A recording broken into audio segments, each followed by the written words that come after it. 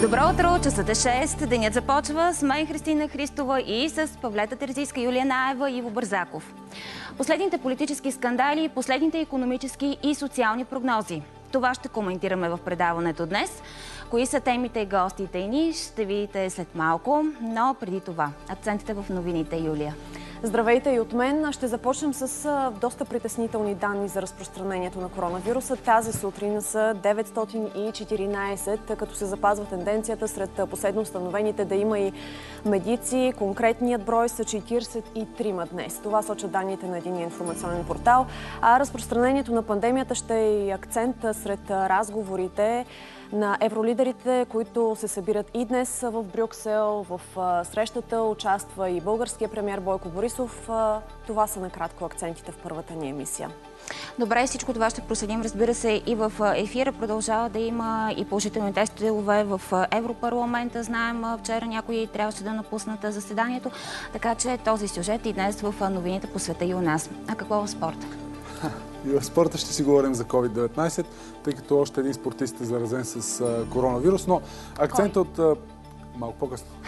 Акцента в спортните новини ще бъде това, което се случва на стадион Българска армия, а именно опашките, които се извиха вчера, във вчерашния ден пред касите на стадион Българска армия, за да могат хората да си осигурят билети за сблъсъците на ЦСК в Лига Европа. Първо, този с Чефер Екуш. Ще бъде интересно да видим колко зрители ще бъдат на трибуните. Около 13 се очаква да бъдат на стадион Васил Лески, където ЦСК ще домакинства. Да, това вече пък е тема в Румъния. Колко ще бъдат допуснати и как този мач ще бъде изобщо проведен. Какво ще бъде времето Павлета днес? Добро утро и от мен. Дъждовно защото още от изминалата нощ в северо-западните райони започнаха валежи, които постепенно днес до към обяд ще обхванат западна, по-късно през деня вече и централна България. А ако планирате какво ще правите през почивните дни, трябва да се съобразите и с по-хладното, дъждовно и ветровито време. Подробности за всичко веднага след новините. Габриела Гаврилова е редактор на предаването днес. Тя очаква и вашите въпроси на нашата фейсбук страница. Пишете ни. Бъдете с нас до 9. Денят започва в петък. Управляващи и опозиция. Остри реплики за поста на Цвета Караянчева. Кой руши авторитета на парламента? Депутатите Александър Ненков от ГЕРБ и Явор Божанков от БСП. Социални параметри на кризата. С колко ще се увеличат доходите? Президентът на КНСБ Пламен Димитров. Кога се очаква да бъде готов българският прототип на вакцина срещу COVID-19? Наживо от лабораторията по експериментална имунология. Вандалска атака с камъни срещу бързия влак на рани машинист на гара Пловдив. Какви ще са последствията и ще има ли наказани? Наживо. Както казахме сега при откриването на предаването, нещото, което ще коментираме са и политическите сюжети от вчера. След повече от 4 часа дебат с 126 гласа беше отхвърлено искането на БСП и ДПС председателя на парламента Цвета Караянчева да освободи пост. Тя остава на мястото си с подкрепата на управляващата коалиция, воля и част от независимите. Мотивите на опозицията. Караянчева не спазвала Конституцията, уронила престижа на Народното събрание, превърнала го в придатък на Бойко Борисов. Уважаема госпожо Караянчева, моля заемете вашето място мястото на председател на 44-то Народно събрание. Отхвърлянето на оставката премина без дебат по същество с размяна на остри реплики, принизени до лични нападки и предимно обвинение в уронване престижа на Народното събрание от председателя Цвета Караянчева. От БСП и ДПС акцентираха върху нейни изказвания и поведението й. Госпожа Караянчева слага петно върху авторитета на Народното събрание. Абсолютно недопустимо е изказването когато не харесваш магистралите или не харесваш строителството на Бойко Борисов, цитирам: „Ходи пеша бе!“ Това е обида към българския народ. Да забравиш или да пренебрегнеш, че си председател на парламента в парламентарна република и да се изявяваш като квартален партиен функционер означава да извършиш политическо престъпление срещу републиката и това историята няма да прости. Опрекнаха и още, че не е подала оставка, когато изтече запис предполагаемо определение за нея, изречено от Бойко Борисов. Това предизвика Обединени патриоти да реагират. Превръщате председателя на Народното събрание в мъченица в момента. ДПС имаха пълен монопол в Кърджали. Крепостта им. Пълен, пълен, пълен, пълни, пълни мандати на ДПС. Така ли е, колеги от ДПС? Така е. Появи се тя и от 2009 година какво стана? Взе, че стана депутат от Кърджали. Последва размяна на реплики, кой колко е кърджалиец. Уважаема госпожо кържалийска мъченица. Искам да ви кажа, че в момента това, което се случва тук в тази зала в продължение на два часа, унижава България, защото принесахте някаква абсолютна простащина. От ГЕРБ определиха дебата като политическа пошилка с наближаването на предстоящите избори. Видяха в действията на БСП и ДПС опит да се доберат до власт, а не наистина да отстранят председателя на парламента. Имам една лоша новина за вас. Няма да стане. Цвета Караянчева ще бъде председател на 44-тото Народно събрание до края на месец март следващата година. Защото оценяваме качествата Ви, уважаема госпожо Караянчева, които притежавате, и умението да ръководите този парламент. Председателят на парламента призна, че тежко е приела злорадството заради предполагаемото изказване на Бойко Борисов по нейн адрес, което той отрича. Признавам, че имаше моменти, когато на самата мен ми се искаше да изчезна. Направо да скоча от някоя канара от Родопите. Не съм безгрешна и никога не съм твърдяла това. Благодаря на тези от вас, които казаха хубави думи за мен. Искам да благодаря и на коалицията БСП-ДПС, че ми дават възможност да се защитя от парламентарната трибуна и така да отговоря на синхронизираната им атака. Защитата си Караянчева завърши с думите, че нейната чест не е функция на оценката на БСП и ДПС. И още един сюжет от Народното събрание вчера. Безпредседентно изслушване на главния прокурор. За първи път обвинител номер едно направи отчет за дейността си през първите 8 месеца на годината по искане на народни представители и от опозицията. Спад на телефонните измами с 95%, на битовите кражби с 22%, на грабежите с 19% и на моторните превозни средства с 13% отчете главния прокурор. Той даде информация по знакови досъдебни производства срещу издирвани с червена бюлетина бизнесмени. Гешев обясни, че премерът Борисов три пъти е давал обяснение по преписката за аудиозаписи и снимките от спалнята му. Българската прокуратура ще разследва всеки, който е нарушил закона, независимо дали е полицай или протестиращ дали е социално слаб или е милиардер, дали е министър или дребник чиновник, дребен, повтарям, дребен чиновник в президентството. И ние не правиме разлика и нямаме двойни стандарти. От левицата обвиниха Гешев, че се крие зад статистиката, за да не даде конкретни отговори. Ние искаме вашата оставка и няма да подкрепим доклада. Защото то е много статистика без конкретни отговори на важни за обществения интерес въпроси. Не са ли готови експертизите на записите, снимките, чекмеджето с парите, които обявихте още преди месеци, че правите? Колко време е необходимо, за да отговорите на българското общество автентични ли са? Управляващите не се съгласиха с левицата и призоваха да бъде подкрепен доклада. Днес в тази зала многократно се чуваха призиви за оставка. Смятам, че ще бъдат безплодни. Не вие избирате главния прокурор. Това го прави Висшия съдебен съвет и той два пъти потвърди своят избор и този избор беше легитимиран с указ на държавният глава президентът Румен Радев. Пред депутатите главният прокурор заяви, че в дейността си се ръководи само от конституционните си правомощия. Българската прокуратура няма да позволят да бъдат въвлечени в явно развиващата се вече политическа предизборна кампания. С 117 гласа за, 61 против и един въздържал се, парламентът прие отчета на главния прокурор. Разбрахте вече от Юлия Наева и днес отчитаме пореден ден с рекорден ръст на новите случаи с COVID-19. Мерките обаче няма да се затягат. Категорични са от Националния оперативен штаб. Вчера те заявиха, че хората трябва да се научат да спазват мерките, преди да бъдат въвеждани нови. Това заяви здравния министр Костадин Ангелов. На втори нощ, на четвърти нощ, на осми нощ, на десети нощ, на 14 нощ, на 16, 18, 20. На 25 съм била първа смяна, на 26 дневна. От месеци доктор Димитрова се грижи за COVID пациенти. Тя е специализант и по график дава 12-часови дежурства в столичната болница Света София.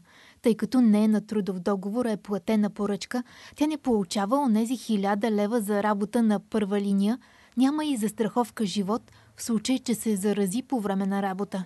Въпреки, че трудът ти е равностоен на останалите и колеги в COVID-зоната. Ще бъда, по думите на министъра, недопустим разход за лечебното заведение. Въпросът вече не е само финансов, въпросът вече е морален. Нали, в дни на пандемия труда на българския лекар не бива оценен. Недостигът на лекари ще се окаже най-сериозният проблем пред здравната система. Само за дни редица болници в страната подадоха сигнали, че няма кой да работи в COVID-отделенията. Легла има и за сега се справяме, обяви щабът, но това е на пръв поглед и вече започват да се чувстват затруднения. Тази картина толкова бързо може да се промени, ако не се спазват мерките, че не би следвало да я приемаме като някаква даденост. Страхът и липсата на мотивация са сред основните причини трудно да се намират медици-доброволци. В ситуацията на доктор Димитрова проблемът са изисквания, заложени в проекта, по който се отпускат средствата. Според здравния министр трябва да се внимава, когато се променят правилата които сега казват, че куриерът, който пренася изследвания по коридорите на болницата, получава тези пари, а лекарят вътре в отделението, който му ги подава, не. Такива случаи на територията на България са, бих казал, единици, те са малко. Ако това е възможно и допустимо и тези средства могат да бъдат оправдани, искам да ви кажа, че говорим за европейско финансиране по европейски проект. Разбира се, това ще бъде направено. Това е картата на заболеваемостта по области в страната. Две са критични – Благоевград и Търговище с над 120 души на 100 000 население. Не пътувайте до там, призова министърът. Излишното пътуване до там би довело до разпространяване на болестта и сред другите области. Числата са категорични. Има ръст на новозаразените. Смисъл от нови ограничения обаче според щаба няма.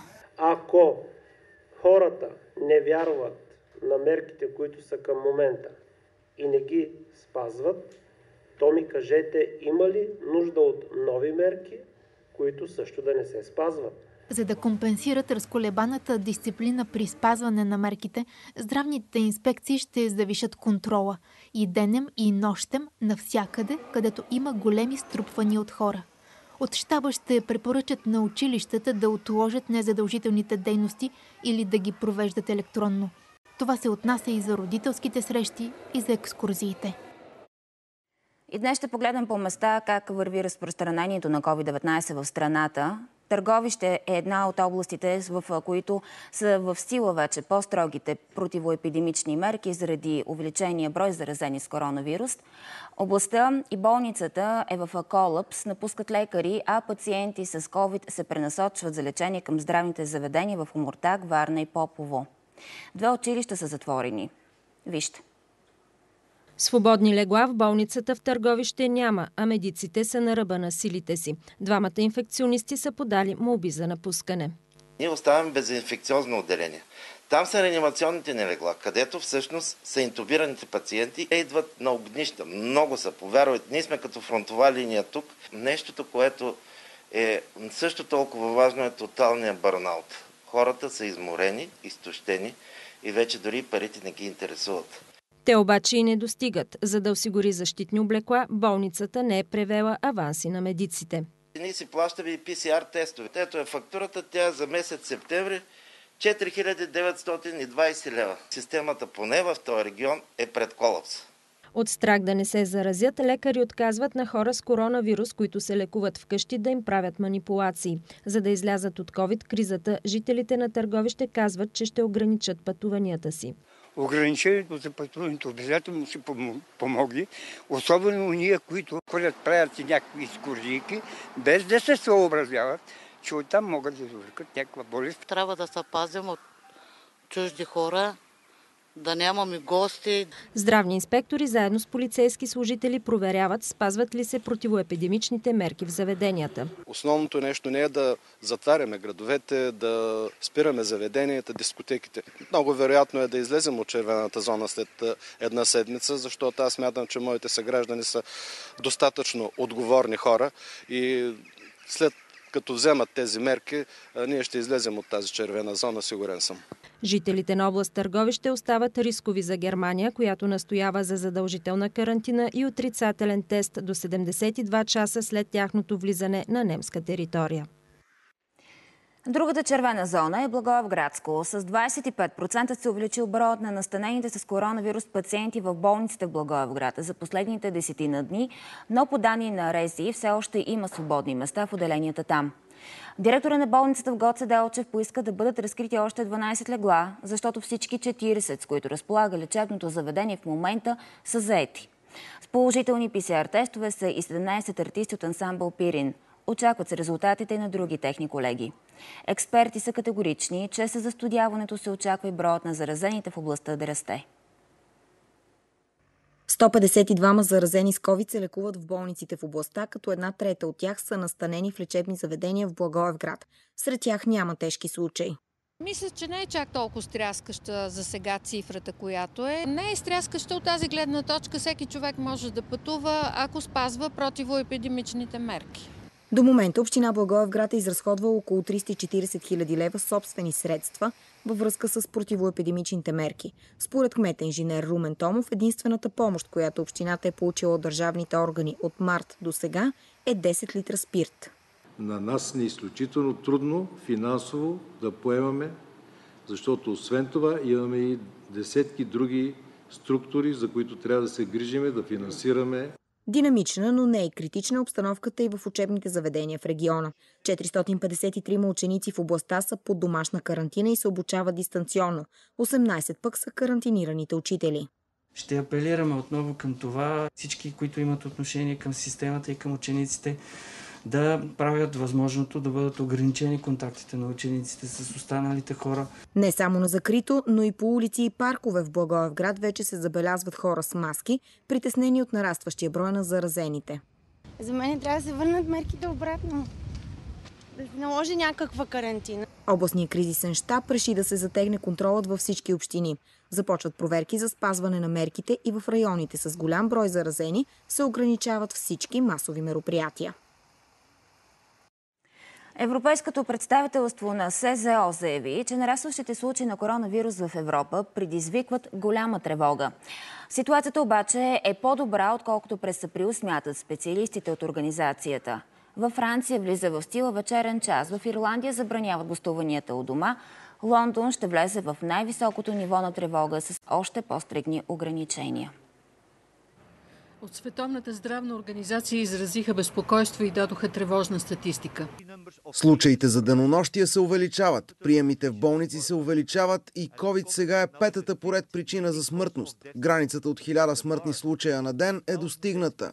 20% от болничните легла в Мадрид са заети от пациенти с COVID. Испания продължава да е с най-много заразени в Европа, следвана от Франция. Не приемаме всеки го в болницата, само хора с симптоми, които отговарят на критериите за хоспитализация, защото те имат нужда от кислородна терапия и наблюдение и защото имат неотложни нужди. От събота в Париж и някои други градове влиза в сила вечерен час от 21 до 6 сутринта. В случай на спешна нужда от придвижване ще се изисква декларация. Нов за България модел на правосъдие може да намали значително проявите на агресия сред младите хора. Около това становище се обединиха юристи и психолози. Става дума за зародилото се в Съединените щати възстановително правосъдие, което включва работа и с агресора, и с жертвата. Как Нова Зеландия се превърна в страната от най-висок процент младежка престъпност в държавата с най-нисък. Вижте в репортаж на Йоана Миланова.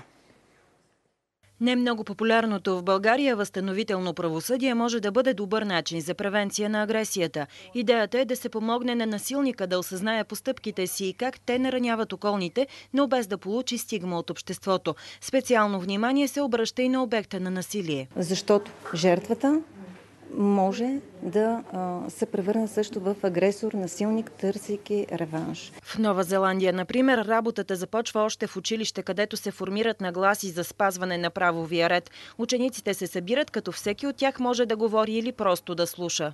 Общото е, че се обединяват около това да подпомогнат извършителя, съответно да разбере жертвата, какво тя е а, усетила, преживяла, да съблюдават изпълнението му, дали има а, промяна в а, поведението. Преди броени дни във Видин ученик ритна бездомник. Според психолозите, зад всяко престъпление стои мотив, а зад всеки мотив незадоволена потребност. А в случая вероятно стои липса на достатъчно внимание или одобрение.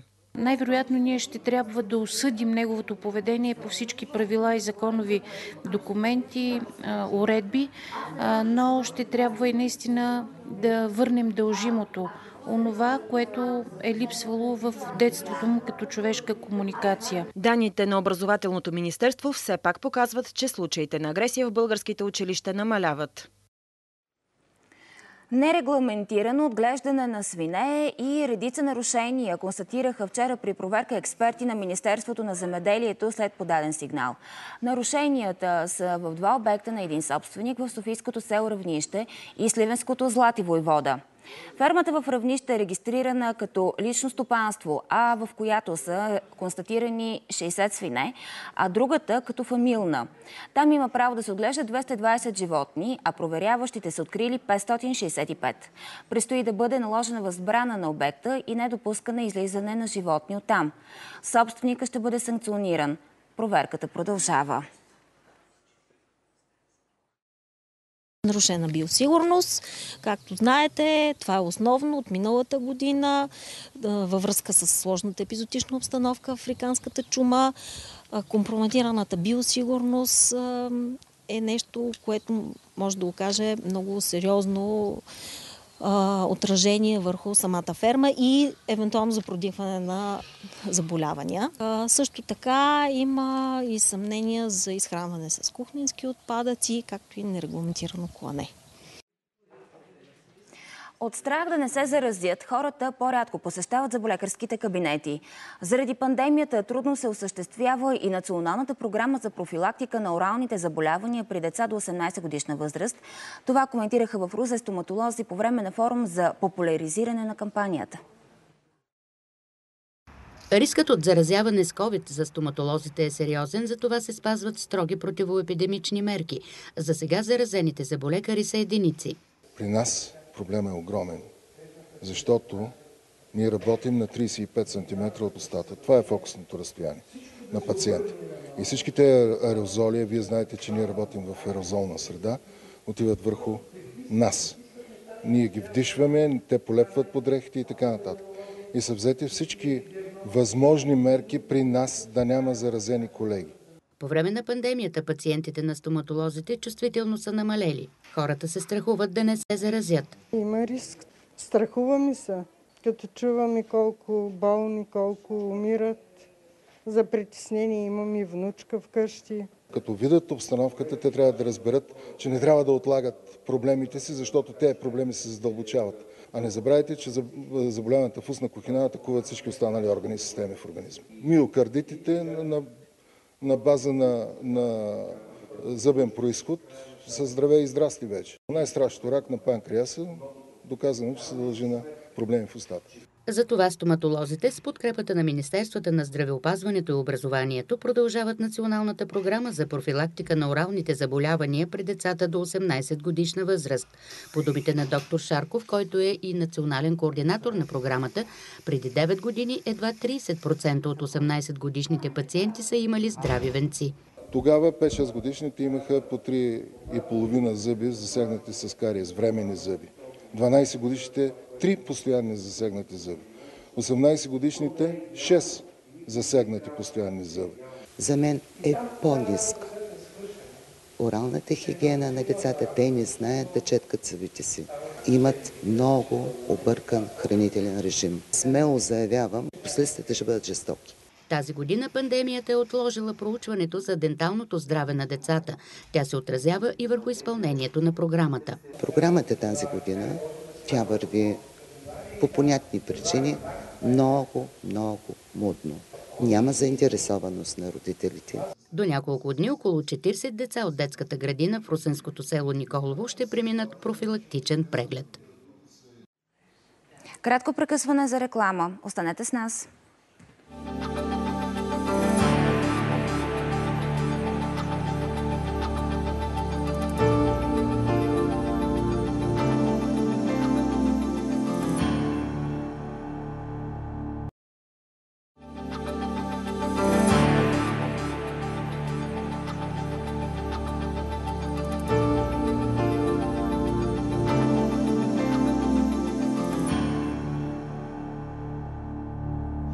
Следва прогнозата за времето. Ще Няма проблем.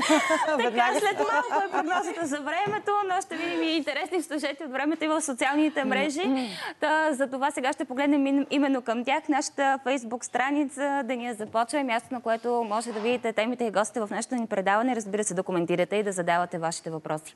Габриела Гаврилова следи всичко, което ни пишете днес. И сега концентрация най-накрая а, с нещо, което искам да ви покажем от а, нашия сайт. Да, БНТ News BG. И препълнените автобуси сутрин в София, може би пък и не само сутрин, но а, наш зрител е ловил ето този момент а, в час пик сутрин, може би и след обед е така, в една от линиите на градския транспорт. А, какво разстояние и всъщност липсата на такова е в, а, в автобуса и Коментарите са, че в случая и носенето на маски не оказва, може би, толкова влияние и говорим, разбира се, връзка с противоепидемичните мерки, разпространението на COVID-19, но така или иначе, ако пък носим маските си по този начин, както господина, който се вижда на снимката, а не само той е друг въпрос, да, но се вижда да и жената да. зад него точно. Една тема, която много пъти сме коментирали, че носенето на маска трябва да обхваща и носа, защото иначе е абсолютно безсмислено. Единствено носенето на маска в момента ги спасява от глоба, че няма такава. Но нищо от тези три дета, за които толкова често говорим последните Точно месеци, не е спазена. Сега за дезинфекция не можем да бъдем сигурни, но все пак при толкова много хора в този автобус не може да се каже, че и това Ай, може би е знаем, че до шофьора местата са ограничени, има ленти, които са поставени. Това отново е във връзка с епидемичната обстановка. Да, само да напомня, че и вече е внесен доклада за актуализация на бюджета на София, именно а, за повече средства и в транспорта, свързани с а, това, за което говорим. И не само, разбира се. Така, нещо, което виждаме от Илия Русинов. А, в, а, на спирка в 20 часа и 45 минути ни вестник с автобуса пише, аз го чакам вече повече от час, а него още го няма. А, трудно ми е в момента обаче да се ориентирам а, точно откъде беше този Мисля, че е Пловдив, сигнал Пловдив. Лъжа, да, да ето го. Пише долу, скоро няма да има в Пловдив обществен транспорт Димитър Господинов. Знаем проблемите с, с градския транспорт в Пловдив и така и не заработилата на време. Даже сега не съм и сигурна въобще дали работи системата за а, електронно таксуване. А, нещо, което трябваше много отдавна пловивчани да имат, така че може би проблемът е доста по-сериозен от този, че човека чака, въпреки че това е много сериозно, един час да чакаш автобус. Да, и особено сега пък и зимата при студено време, това определено не е никак приятно и хората все пак трябва да знаят как да, да си планират колко време да седат на открито, докато дойде превозното средство. Трудно може да планираш каквото и да било вярно. Да. С още нещо ще продължим сега, което... От Костин Броте, да. Което обаче да предупредим нашите зрители с слаби нерви, и не е препоръчително и за деца, бих казал, защото става дума за изключителна агресия към животно. Сигналът е от Костин Брод. Нека да видим клипчето, което е публикувано в социалните мрежи. Ако може и с атмосферата. Престъпление, знаете ли в момента какво правите? престъпление? Къде? А къде ще? А, точно така, вие сте завързали. Добре, че ви видях. Няма го какво да сложи. Това е престъпление, каквото правите в момента, знаете ли? И щяха да я изхвърлите. Котката. Ще я пусна в друг град просто. Господине, сега ще бъде, сега ще подам ето вие котката. Не, не, вие сте оставили, вие сте я сложили. Да, Дайте ми я. Сега няма да изслушаме всичко. Обяснението е, жената вижда този мъж, който Съвсем очевидно... случайно, точно така. Да, иска да изхвърли котката, според нея да я отдави. Той просто обяснява много по-логичното. той само иска да я остави в да, друг град. били много. Да. Да. Слава Богу, котето е спасено от а, дамата. Виждаме го на другото клипче, че вече се храни. Очевидно, жената има и отношение към а, животните. Ние го пускаме не за нещо друго, знаете, и коментирали сме вече тази тема. А, насилието над животни е престъпление. Точно така. Въпросът е, че са малко наказаните. Именно а, дискусии за насилието над животни имаше неведнъж. а, Наказуемо е, както и ти каза, Хриси. А и е доказано, че хора, които проявяват насилие над животни, било то котка, куче или каквото и да е друго животно, са склонни да проявят а, такава агресия и към хората. Да, за съжаление е така. Наистина, надявам се, човек се вижда много добре. Най-малкото, което може да му се случи, е хората да го съдят и общественото мнение да е срещу него, а и ако може, и наистина се понесе и други последствия. Да, и нещо малко по-забавно да разведрим ранната утрин на тема образование. Колко е сладка и забавна невинността на едно дете. А, виждаме тази снимка, решени задачи. На последната обаче, където трябва да се измери дължината на отсечката, детето отбелязва линията, не знам къде ми е. Сега друг е въпросът колко грамотно е написано, но да приемам, че детето все пак а, мъничко, е да мъничко, точно да. така, да. Да. И Така какво че- отговаря госпожа това с червено? Тя ли го е отговорила? Аз още по-малко, А, пише още тя. по-малко. Очевидно и двамата са подходили с чувство за хумор. Да, добре. Намери си линията, който и да си малък, сладък човече. И още нещо забавно съм ви намерила. Не знам кои от вас има домашни любимци, но така или иначе на тези, които имат кучета, им е добре позната тази гледка. И чувството на вина на кучето е доста интересна. Така. И реакцията му, когато му показват последствията. Определено е застрямен от постъпката си. Да, точно така. Да, той е Ето ги много... щетите. Да. Той е много виновен. Хайде сега си намери чифта чехли. Но всичко Но това с- го е направил това кученце. Абсолютно. Да. Всичко това е от него. Той го осъзнава очевидно. Той без да иска. Съвсем случайно. Ни лук ял, ни лук мириса. Абсолютно без Да. да иска е ситуацията. Доста щети. Ама нищо му няма на телефона. Къпо му излиза на собственика на това животинче. Е, това е симпатични са, много да иска да си имаш такъв домашен е любимец. А да му се разсърдиш ли, Павле? бих О, могла аз. а, погледни. Не, не, ако ти се случи, наистина мисля, че колкото и да го обичаш. Така. И понеже, както знаете, уважаеми зрители, ние подхождаме и с чувство за самоирония, а, показахме в началото на седмицата един репортаж за това как се вари ракия. Сега, наистина се надявам, че вие имате такова чувство за хумор. Знаете, че в 6.30 не, не сме призовавали никой нищо да прави по темата, но този репортаж, призака редица коментари и поствания в Фейсбук. Ще ви покажем само някои от а, тях. А, така, че то да не е антибиотик, за да се пие по час. е Един от коментарите, някои пият от мъка, други от радост, а трети сутринта. Ами да, факт е. Така с усмивка подходихме тогава. Надявам се, че наистина сме ви а, разведрили сутринта. Само да покажем в началото а, поста от а, къде тръгна с а, тези коментари. Бранко Ненчев Бени. Деня започва в 6.30. Репортаж за врена ракия. Банете върха. Факт. Очаквайте на следващите дни как се прави салата за ракия. Ти ли ще покажеш его? Не. Очакваме с ще нетърпение. Нещо репортаж. здравословно от твоя Ще страна. направиш репортаж. Е, не, аз не пия ракия. Не. Мгм, Няма вода. как да направя салата. Доктор Радева ни ти е забранила водата. Добре, ето сега нещо с- свързано с прогнозата. Аз и знаех. Да. Булевард България. Един клип, който е публикуван на Метео Балканс. Става въпрос за резултати от проливни дъждове, които имаше през тази седмица. Кадрите са от Сливен, течащи реки буквално по улиците. Да, не можеш да разбереш улица ли е какво е. Не знам автомобилите как се придвижват. Пък Отказали какво се. става въпрос да, се за, за хората, да, да, ако им се налага някъде да пресекат. Но си ходят по тротуара. Виждаме, Ако че те си ходят по е на тротуара, да, но не е често наводнен. пъти, за съжаление, тротуарите са заети от вода и е абсолютно невъзможно да се преминава. А, показвам кадрите в а, така, връзка, че и днес предстоят а, валежи в а, страната, като по-така интензивно се очаква да превали в а, северо-западните райони. До към обяд вече цяла Западна България ще бъде така обхваната от дъжда и ще има места с превалявания, както и централните райони. Така че е хубаво да си вземем чадър. М, Най-малкото е хубаво, ако Да. не искаме да бъдем изненадани. Или въдица в случая. Да. И а, ето нещо, което пак е свързано с бурите. Кадрите, които виждаме са от а, грамотевични бури на Татина а, съвсем наскоро. А, като идеята ми е да ви така насоча вниманието именно към грамотевиците и грамотевичните бури, знаем, че те са така доста опасни и могат да застрашават а, живота и здравето ни. И а, така един въпрос имам към вас. Предполагам сте чували и знаете Очакваме как... самия, че ще ни изпиташ и да, днес. много обичам сутрин, знаете рано. Как можем да преценим на какво разстояние ориентировачно а, пада мълнията? На какво разстояние? Да, от нас, където Не се намираме. да. И ти ли не, не знаеш къде е? Това ще е интересно, ако успееш да го премериш Жокер, с помощ линия. от публиката може ли? Геро... Ама и публиката ни Нали, не първо знае. виждаме всъщност светкавицата, светлината, след това чуваме гръм, да, шума, да, тътена. Така. Да. Сега, особено опасно е, знаете, в планините, защото в планината доста по-често падат грамотевици, лимълни, отколкото в равнините и низините, но все пак а, се случва на територията на цялата страна. Когато видим светкавица, т.е. просветне нещо на небето, започваме да броим.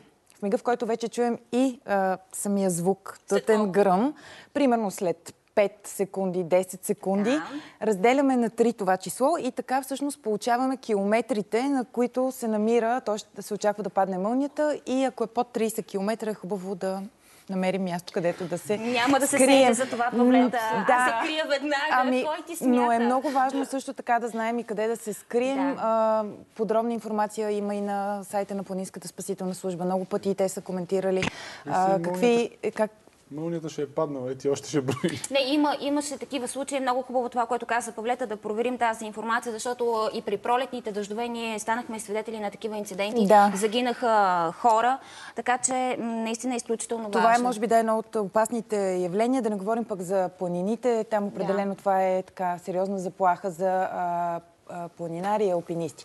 Понеже показа Гърция, ако успеем малко по-надолу да покажем и Балканския полуостров, точно така, и ще видим, че има предупреждение. Това е за, мисля, че за от вчера, ако колегите натиснат за утре, Tomorrow долу. Да, ще успеем да видим сега и какви са ам, предупрежденията. Виждаме, да, определено, че има и, а, и днес предупреждение в северната част на Гърция за лошо време.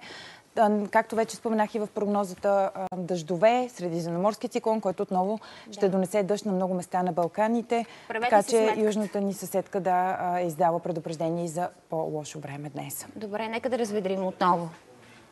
Въпреки, че то лошото време с някой си е хубаво. Какво? Абсолютно. Пък есентата напомня Да. за себе си в крайна сметка. Това ти ли си го подготвил, Иво? Да. Така се А, почесваш, ще съм сигурна. Това, това куче е доста по-послушно от това, което гледахме малко по-рано, но остана в шок къде отиде неговия собственик. Е, все пак успя да го намери. По принцип сме виждали доста такива видеа. Не знам дали вие сте ги гледали. Аз да, особено когато се забавляват с дечица, са доста интересни, наистина. Ревност, всякаква. Добре. Да видим още нещо. След като вчера гледахме крокодили. А, това вероятно е случка в а, някой от супермаркетите. Е, не в Пазаруване България. в бъдещето. Не, Ами при тази COVID криза и мерките никак не ми се струва в далечно бъдеще. доста забавно е по принцип. Да, да, интересен подход. А, само, че Защо? вие, само, че вие на тъмната страна ли сте? И как а, жените карат а, колела, Е, в случая ти не караш. Как да не карам, Боже? И как а, мъжете карат. Е, да, да, друг път. Ами общо не, не. Не въртат педали. Еми, Целенасочено и тази да, сутрин. провокация отново. да. Но абсолютна провокация. ми не, просто са по-склонни да рискуват. А и на фона на това че познавам един приятел как се е, как е падал с колело и какво се е чупил, така че мисля, че е по... Ами ако карал така, нищо чудно. Трябва възпитано и с а, Възпитано. знание за собствените ти възможности. Мисля, Не че- и възпитано, защо? Знаеш колко е гадно, когато някой ти пресече и така пътя. Ами не може, трябва и ти да си внимателен. Затова казах, че и възпитание трябва. Добре, нека не спорим. Да броиме, да броиме за мълнията. Вижте какво сме ви подготвили до края на предаване. Денят започва в петък. Управляващи и опозиция. Остри реплики за поста на Цвета Караянчева. Кой руши авторитета на парламента? Депутатите Александър Ненков от ГЕРБ и Явор Божанков от БСП. Социални параметри на кризата. С колко ще се увеличат доходите? Президентът на КНСБ Пламен Димитров. Кога се очаква да бъде готов българският прототип на вакцина срещу COVID-19? Наживо от лабораторията по експериментална имунология. Вандалска атака с камъни срещу бързия влак на рани машинист на гара Пловдив. Какви ще са последствията и ще има ли наказани? Наживо.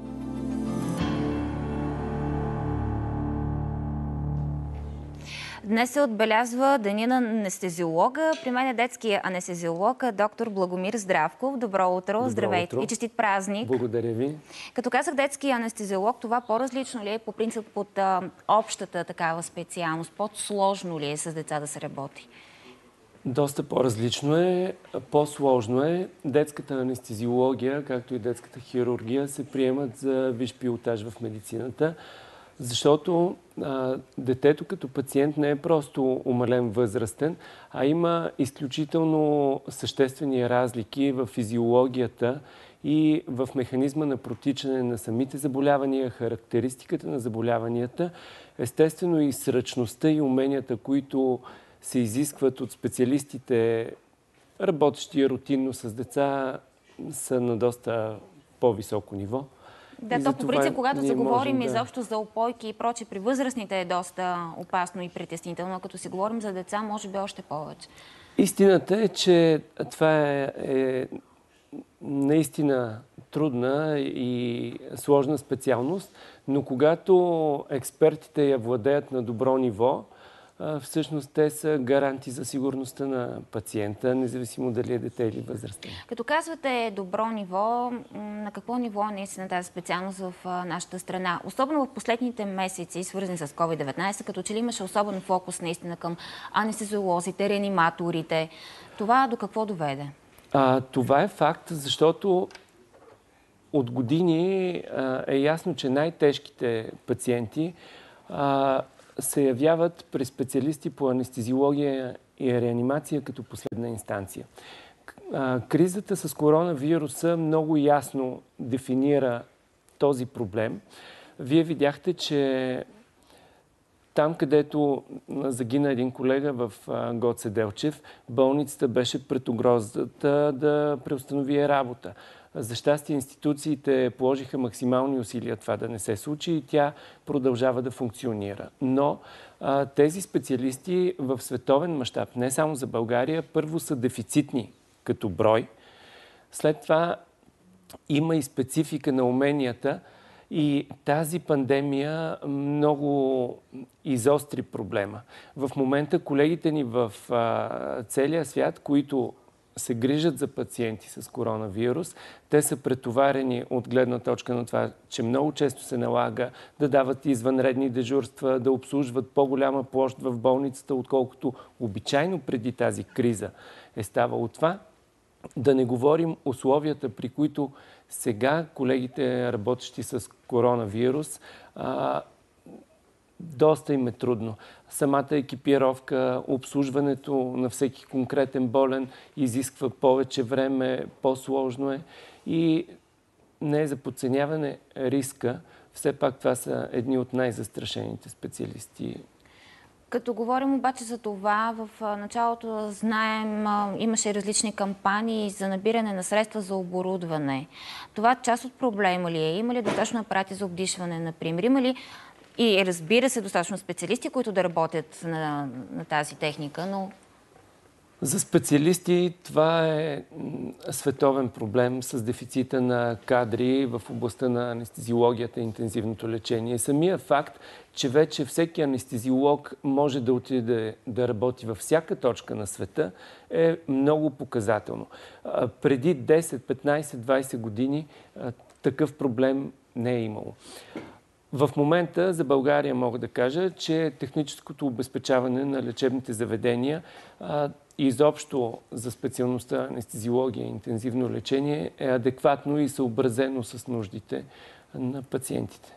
В крайна сметка, ако се върнем отново към детската анестезиология, наистина COVID-19 щади децата, но все пак какво можем да кажем свързано с тази пандемия, децата и детските пациенти, изобщо в, дори ако щете и с плановите операции, има ли нещо, което да притеснява родителите?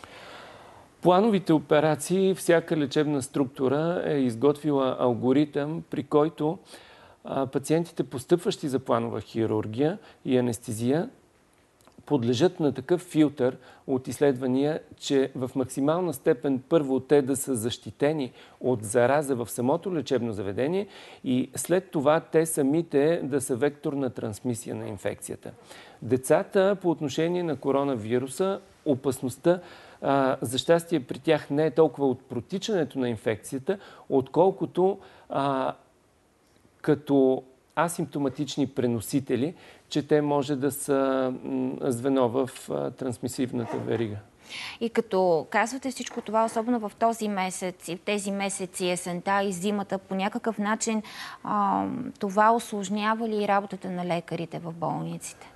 Осложнява я и не толкова на анестезиолозите, колкото на колегите от първата линия в спешните приемни отделения, в амбулаторните структури, защото на първа линия едни наглед симптоми, които биха могли да бъдат асоциирани с всяко вирусно заболяване, включително и COVID, диференциацията между самите заболявания е трудна. По тази причина вече има и сравнително бързи тестове, които могат да диференцират инфекция с коронавирус, инфекция с грип А и с грип Б, защото лечението е различно и мерките противоепидемичните, които трябва след това да се вземат, също са различни. Как гледате на обвиненията, че той до сега в крайна сметка лекарите, вие работите в една рискова среда, не се знае пациента с какво е заразен, а трябва да бъде опериран, например. Тоест, вие без това трябва да се предпазвате и прочее. Твърде много ли се фокусираме в COVID-19? Ами, според мен не. Не се фокусираме твърде много. И тук ще споделя един пример, без да назовавам конкретни имена. Имахме колеги, които в началото бяха скептични за самата инфекция, как протича, до каква степен кой е застрашен, но тези наши колеги в момента лежат в изолатор на болница Пирогов и мнението им много остро се промени.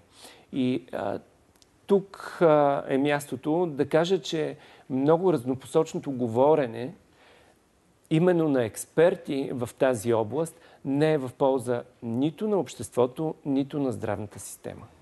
Хубаво е това, че го казвате, защото ние медиите също имаме такива уприци към нас, когато поставяме темата, защо твърде много говорим за това, когато пък ако не я поставим, какво крием и защо не говорим. Златната среда винаги трябва да се, да се намери в тази ситуация, Абсолютно, но пък и правилното, да. т.е. не толкова разнопосочно говорене също е важно. И ако се върнем отново и на днешния ден, всъщност какво кара един млад специалист, лекар, да избере точно тази специалност, след като и толкова сложна и не толкова разпространена, както казвате? А, първо, това е една адреналинова специалност и обикновено последните години, а, когато хората могат да упражнят един осъзнат избор, я избират хора устойчиви на стрес, хора на предизвикателството. Преди години, когато е имало разпределение и колегите не винаги са имали избор, са попадали и хора не много пригодни за тази специалност. Друго притегателно за младите лекари е, че сравнително бърза е реализацията. Един анестезиолог трябва бързо и качествено да бъде обучен, за да може, оставен в график на дежурства, да поема тежки случаи и да има осъзнатата отговорност към пациента за всяко негово решение. Това е специалност, в която резултатността е бърза.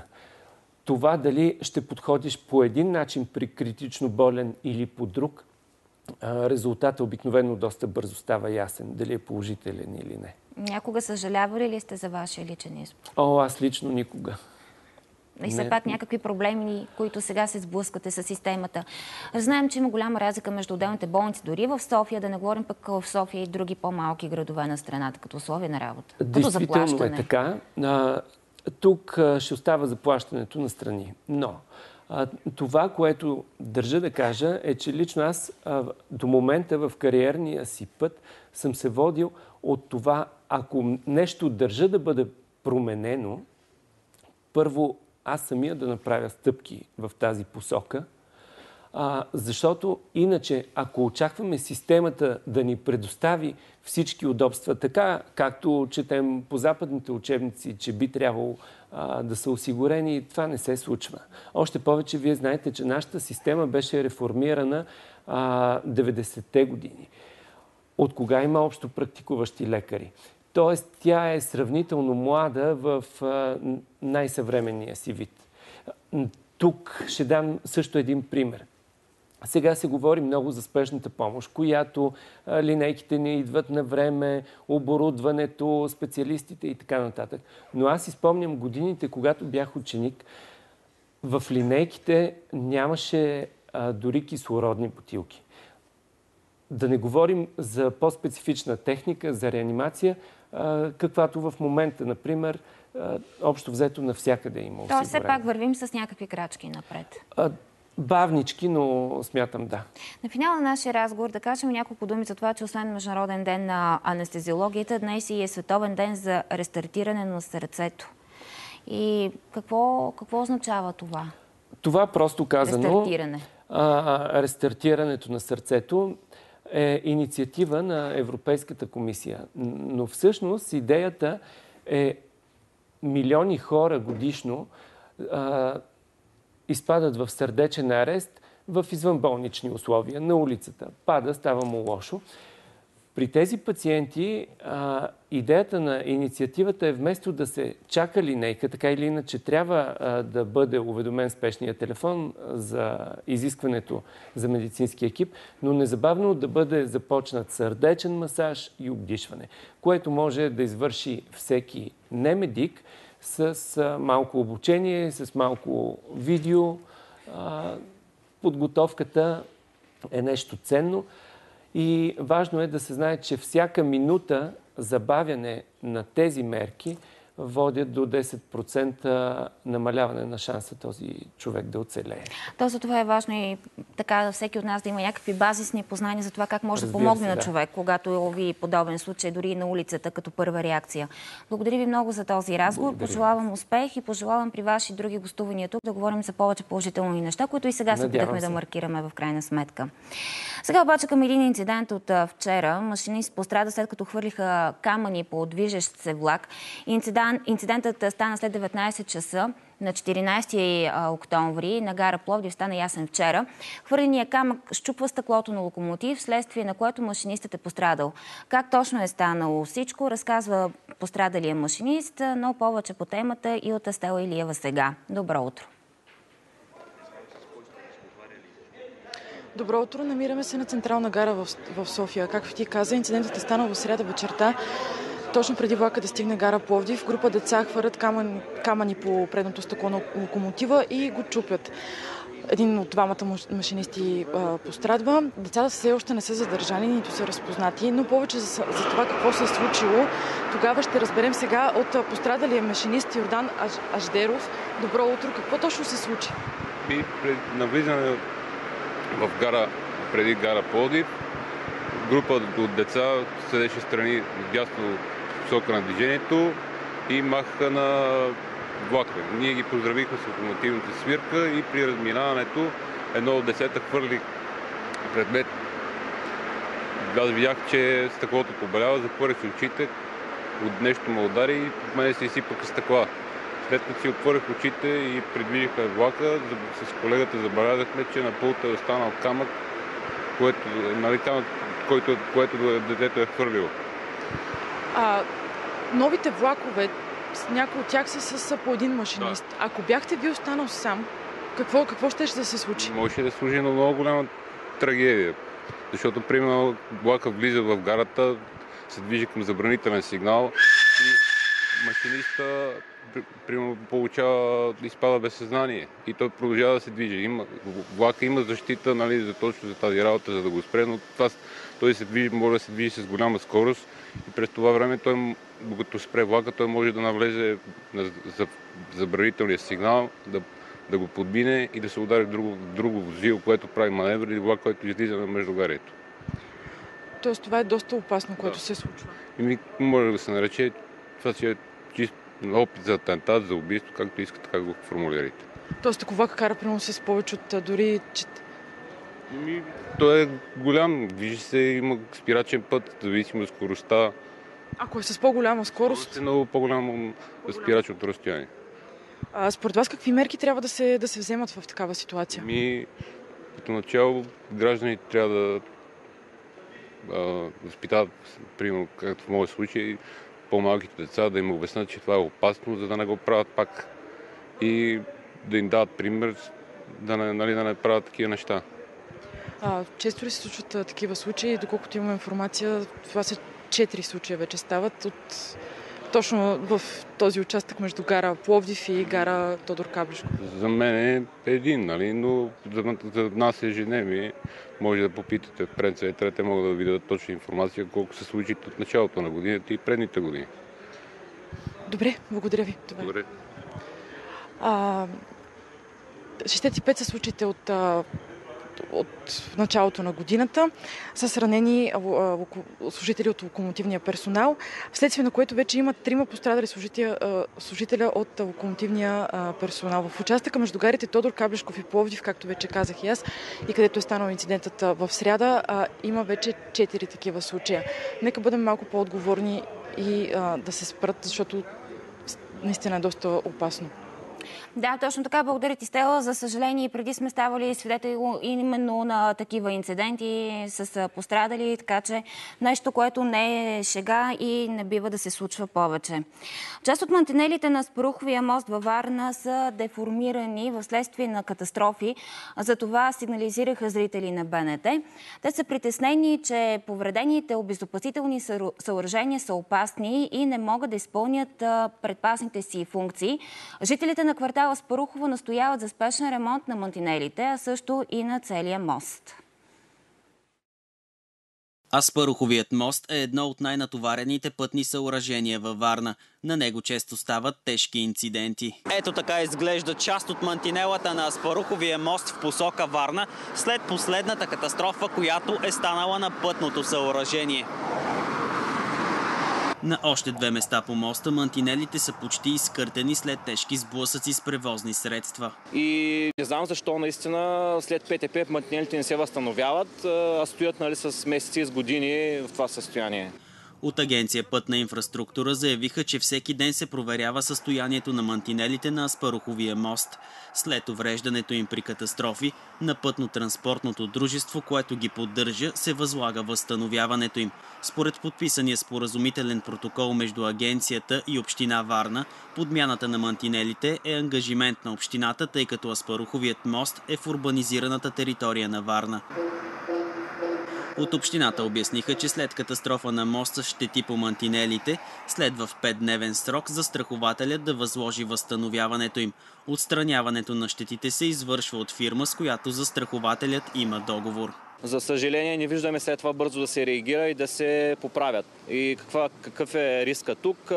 Ако не дай си Боже стане на същото място отново ПТП, мантинелата може би няма да спре автомобила, той може да се удари челно в стълб за осветление, не дай си Боже да изхвърчи от моста, блъсне пешеходец или нещо друго. Въпреки всекидневните проверки на отговорните институции, на места липсват железните колони, за които се захваща мантинелата.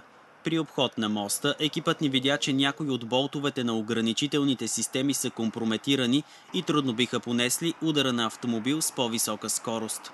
Щом има изкривяване и ръждясали и мантинели, които не си вършат 100% работа, трябва да се подменят. Хората в Аспарухово настояват за цялостен ремонт на моста, а не само на отделни участъци. Тежко е състоянието на Аспаровския мост. Много често го ползвам. Мисля, че не трябва да се застрашава живота на хората, особено всяк квартал цветет Аспарухово. Всяка година почти го затварят за частични ремонти и ние смятаме, че вече има нужда от цялостен ремонт на същинския мост, защото, както знаете, в момента се ремонтираха подходи и така нататък, нали, малки участъци от него, а, понеже състоянието изключително е лошо. Кръци пък са задигнали над 350 метра от захранващия кабел за осветлението на моста и през тъмната част на денонощието има места, на които видимостта е намалена. Това е поредната вандалска проява. През юли бяха извършени три кражби, при които са откраднати общо 570 метра кабел. Разбити бяха захранващи касети, охранителни кутии и електромери.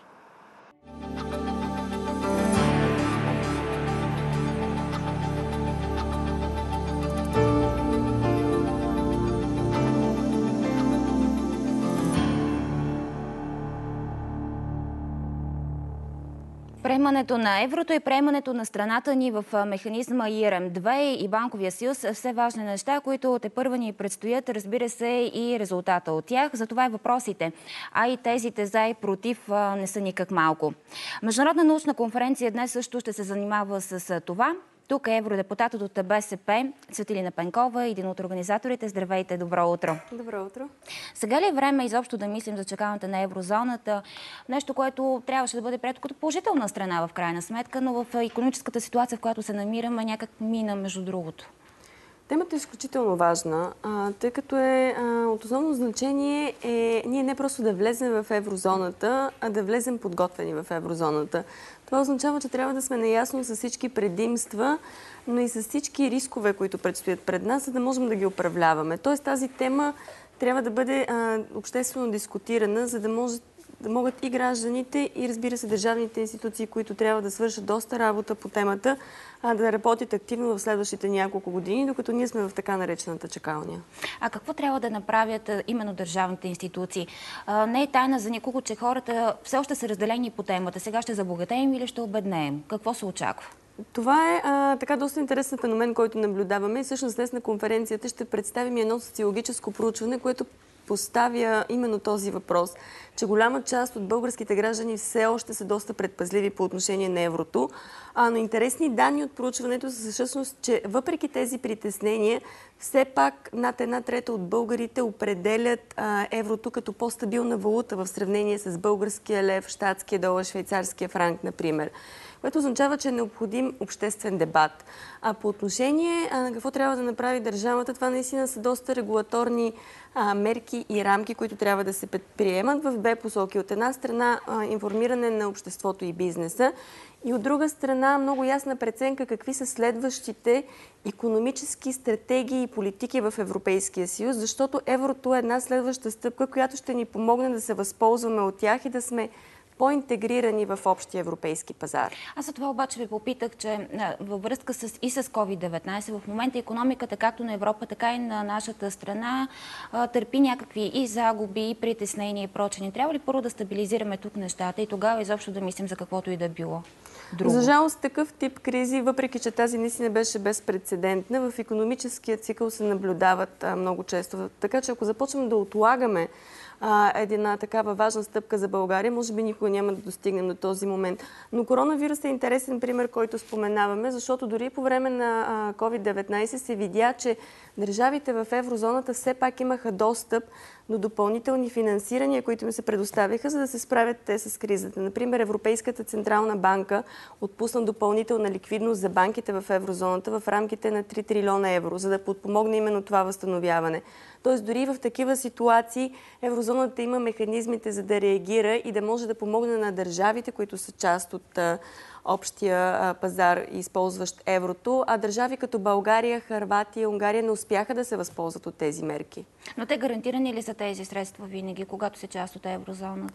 По принцип, да, такъв тип безпредседентни парични помощи не наблюдаваме само и в тази ситуация. Помним и кризата с Гърция, такъв тип помощи винаги се дават, тъй като ставайки част от еврозоната, ние всъщност вече сме на масата, на която се взимат решенията. И нашата економика влияе на всички останали големи економики в Европейския съюз и е в обща полза а, всяка една от държавите членки да бъде в добро економическо състояние.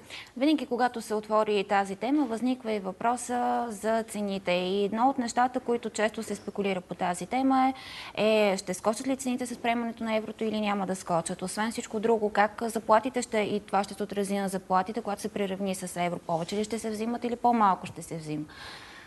По отношение на цените и очакваната инфлация, това наистина са ни от най-големите страхове на обществото, на бизнес, общо взето на, на всички, които са активни участници в този процес. А, такава информация, като погледнем данните на останалите страни членки, приели вече еврото, не съществува.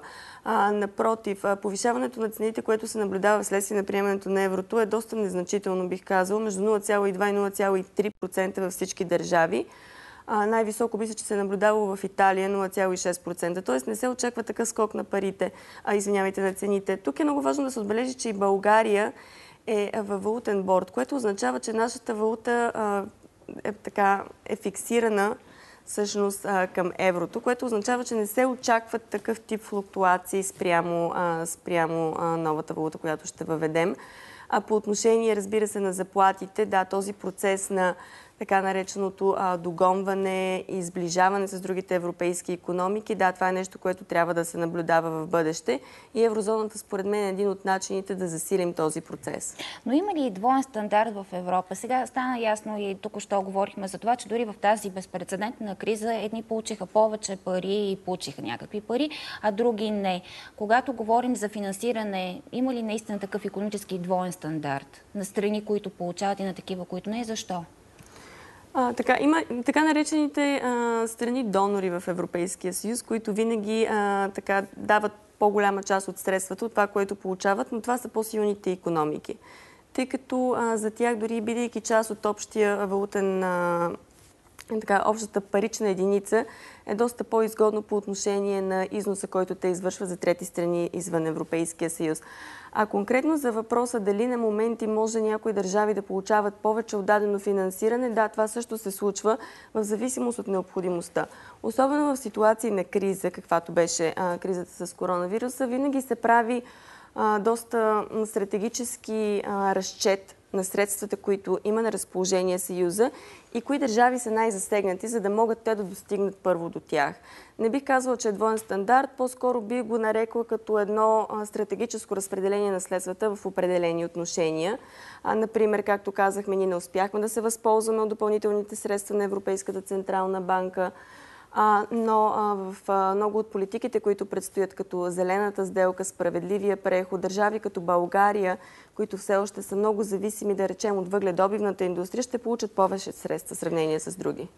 Темата за чакалната върви заедно, разбира се, и с приемането в Банковия съюз. Сега това, тази крачка, означава ли гарантиране на стабилна банкова система у нас? Означава ли никога повече сюжет КТБ?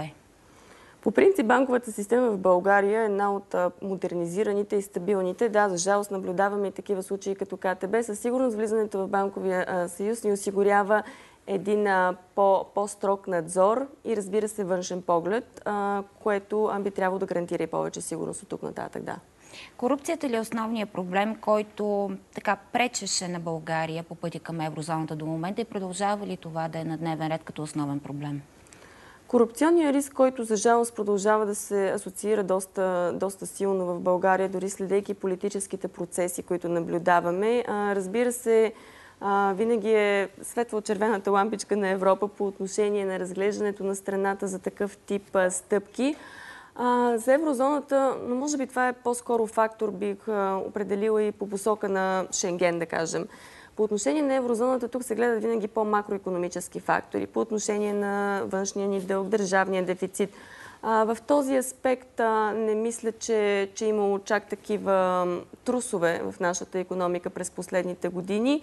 Но разбира се, от тук нататък, дори оставяйки в чакалнята, този корупционен и политически риск, който се наблюдава в България, ще определяш ние колко време ще прекараме в тази чакалня защото а, няма фиксиран, фиксирано време, в което ние трябва да изчакаме преди да влезем в еврозоната. Говори се обективно, така говорейки с специалисти, с колеги, говорим за 2023-2024 година за България.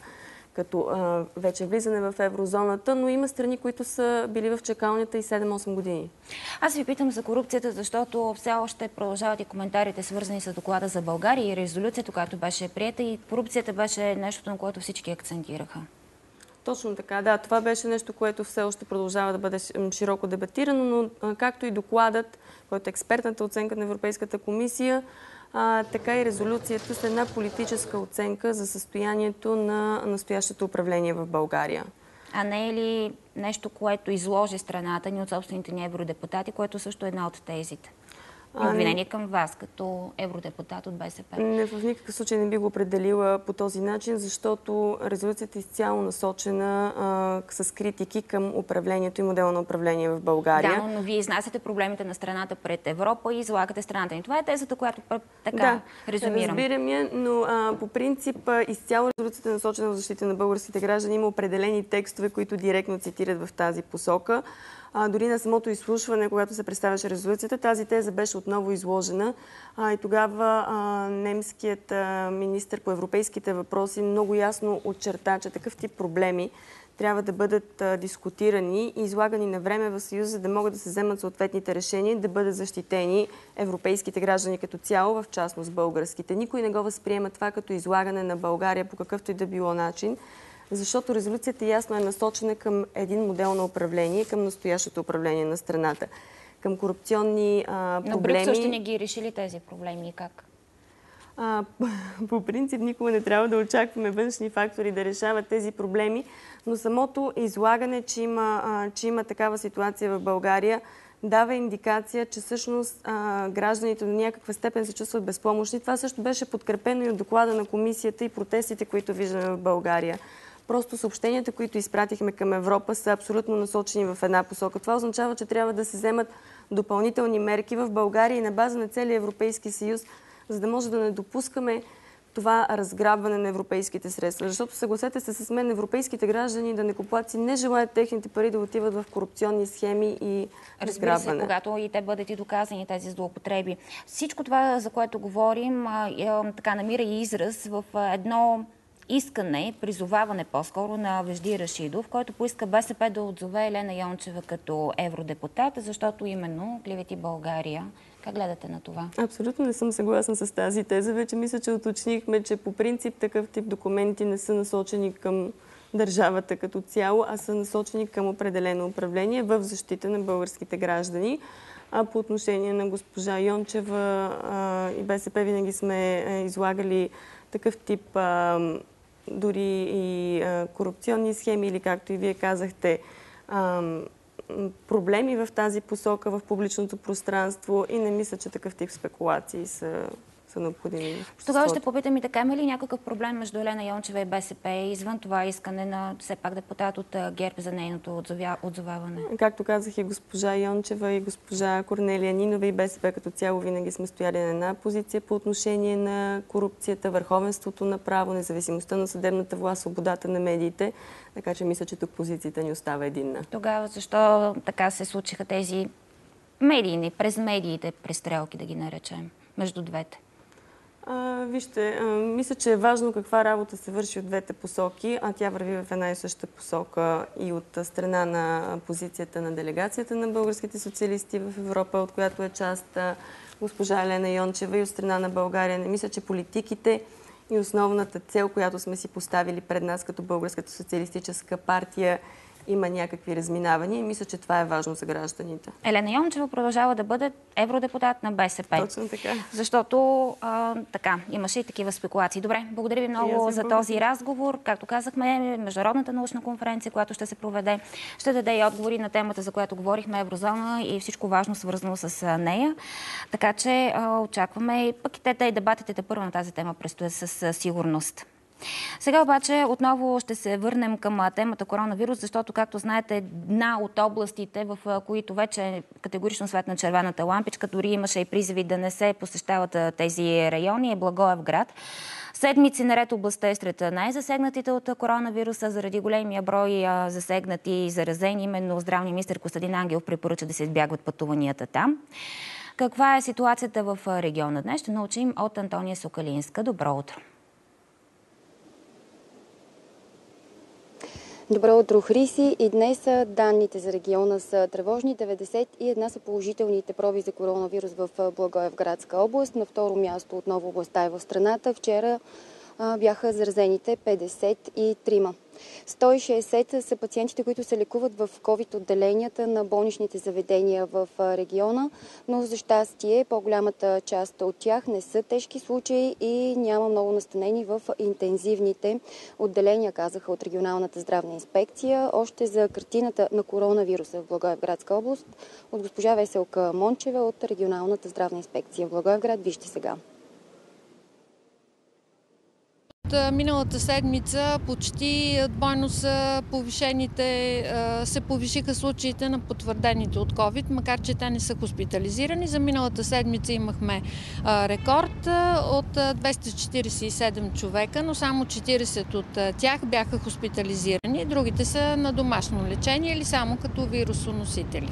Мисля, че не е чак толкова стряскаща за сега цифрата, която е. Според мен ще се повиши още заболеваемостта, като се има в предвид влушаване на времето до нова година. Не е стряскаща от тази гледна точка. Всеки човек може да пътува, ако спазва противоепидемичните мерки. Ако цифрата на потвърдените и заболелите се качи драстично, може би трябва да има и някакви по-строги мерки.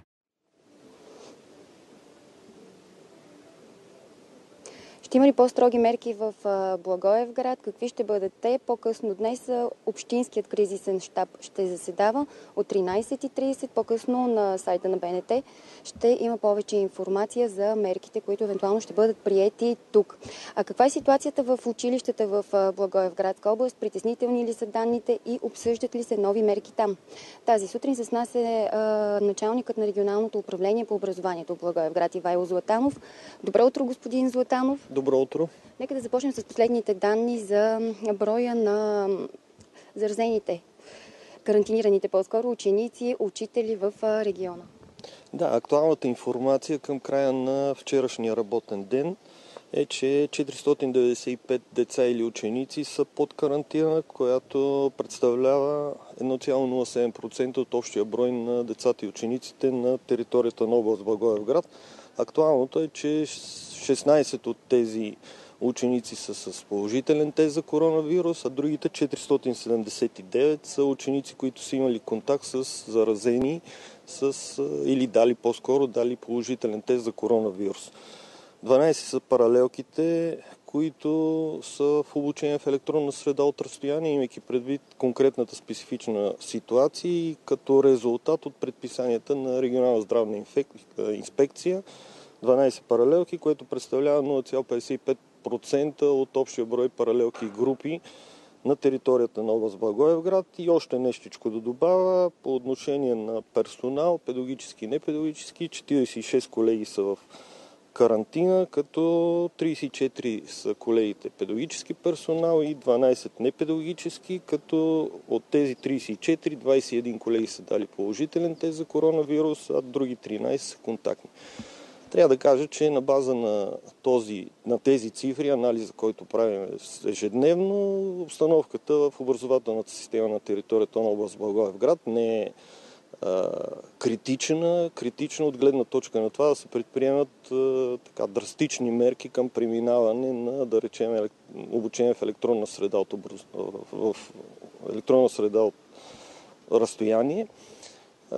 Нещо, което правим е като начинание и дейност, ежедневно припомняме и напомняме на колегите директори, на колегите учители в детски градини и училища да се спазват мерките, да се имат предвид насоките, такива каквито са разписани от Министерството на образованието и науката и такива каквито начинания и дейности са предприяти, имайки предвид спецификата на всяко едно училище и детска градина на място.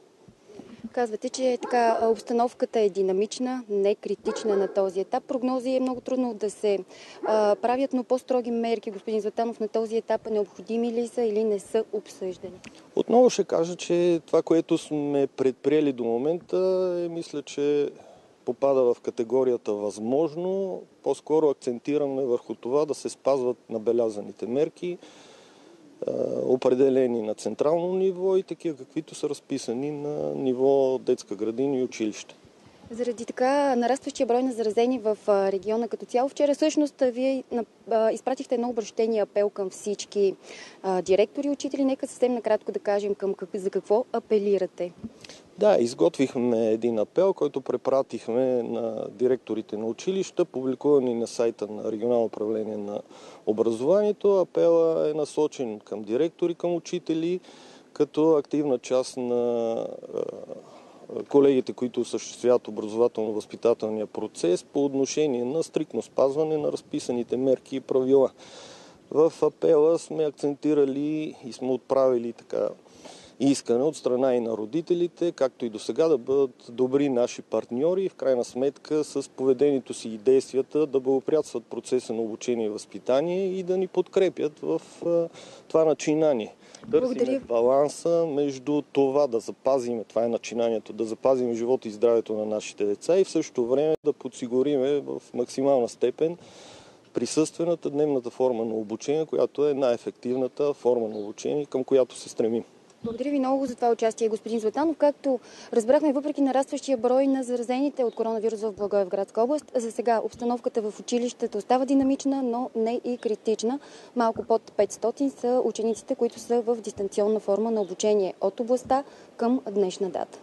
Благодаря ти, Тони. Към темата COVID-19 ще погледнем и малко по-късно в нашето предаване с учени от БАН. Сега обаче ще си говорим за социална политика и економика. КНСБ ще поиска през следващата година да има 20% увеличение на заплатите в тези бюджетни системи, в които служителите не са получили, получили увеличение през последните месеци за работата си на първа линия в условията на коронавирусна пандемия. Какво още искат синдикатите? Това ще разберем сега от Пламен Димитров, президент на КНСБ. Включваме го от студиото ни във Варна. Добро утро, господин Димитров. А, само да уточним, че вие в момента пътувате и страната и всъщност се срещате с немалко хората. Какво искате от вас? Какво ви питат? Каква е ситуацията през вашия поглед? Обикновено разговорите, които водим с нашите колеги от бюджетните системи, от реалния сектор, от предприятията, с местните власти, свързани с наистина опасения около развитието на коронакризата като цяло и естествено очакванията за по-високи доходи и запазване на, на заетостта. Това, което ще искаме, освен това, което казахте вие, е едно актуализиране и увеличение на пенсиите. Нашия анонс беше заявен вече. Ние очакваме нарастване с около 20% на минималната пенсия и с около 240 лева до 1440 лева на максималната пенсия, както и по-отчетливо увеличение на малките пенсии, на по-низките пенсии, които са в, в порядъка под прага на бедност, който е 369 лева. Бяхме предложили 10% увеличение. Естествено, варианти могат да се мислят и с механизмите на социалното подпомагане. Но 2021 година със сигурност би трябвало да се дадат допълнително средства за, за, за тези, които, освен всичко друго, няма да могат и да, да покрият своите нужди за а, евентуална превенция от, а, от заразяване. А, в а, социалната сфера, още от тази година, вие знаете, че ние а, така настояхме и се увеличи минималното обещание за безработица от 9 на 12 лева на ден, както и, и срока от 4 на 7 месеца, минималния срок, който обаче изтича в края на на тази година тези две мерки. Смятам, че трябва да бъдат продължени и те в следващата година, т.е. да се увеличи минималното обещание за безработица на 17 лева и да бъде запазен този срок минималния на на 7 месеца. Някои Освен това, естествено, Димитров, трябва да, които сега да погледнем. казвате, вече бяха анонсирани от правителството и те очевидно ще се случат за до година. Ще има и увеличение на заплатите с 10%. Не, минималното обещание за безработица не беше анонсирано. Да, за това казах, че някои от нещата, например, увеличение на заплатите с 10%, да. увеличение на минималната пенсия и прочее. Само, че критиките са в две посоки. Първо, това означават ли реформи в дадените сектори, за да дойдат парите. И второ, наистина, не се ли харчат твърде много пари в тази ситуация, в която може би трябва да стягаме коланите? Аз съм на, на точно обратното мнение. Ако видите какво правят а, големите държави членки, пък и тези от източния блок, ще видите, че дефицитите там, които се генерират, за да могат да се посрещнат нуждите за подкрепа на, на предприятията, економиката и социалната сфера, стигат двуцифрени числа. България за, за тази година, според мен, ще бъде с дефицит около 4,5% на брутния си продукт, което по никакъв начин не е нито скандално, нито прекомерно. Така че аз смятам, че подобен дефицит около 3,5-4% би трябвало да може да има и за 2021 година в условията, отново казвам, на бавно възстановяване на економиката. Да не забравя да кажа нещо много важно. Ние настояваме за следващата година мярката 60 към 40 да продължи в така, последния дизайн, който беше, беше прият за последното тримесечие на тази година. Тя свършва своята работа. Между 180 и 200 хиляди работни места са запазени благодарение на нея в тази година и смятаме, че ще има нужда в, много предприятия, особено през зимата, първите няколко месеца или първите 2-3 месеца най-малко, това да бъде запазено. Тоест още 1 милиард ще бъдат нужни там. Вече, между прочим, имаме договорено споразумение и ние участваме в програмата ШУР, която всъщност е европейски заеми за запазване на заетостта и 510 милиона лева,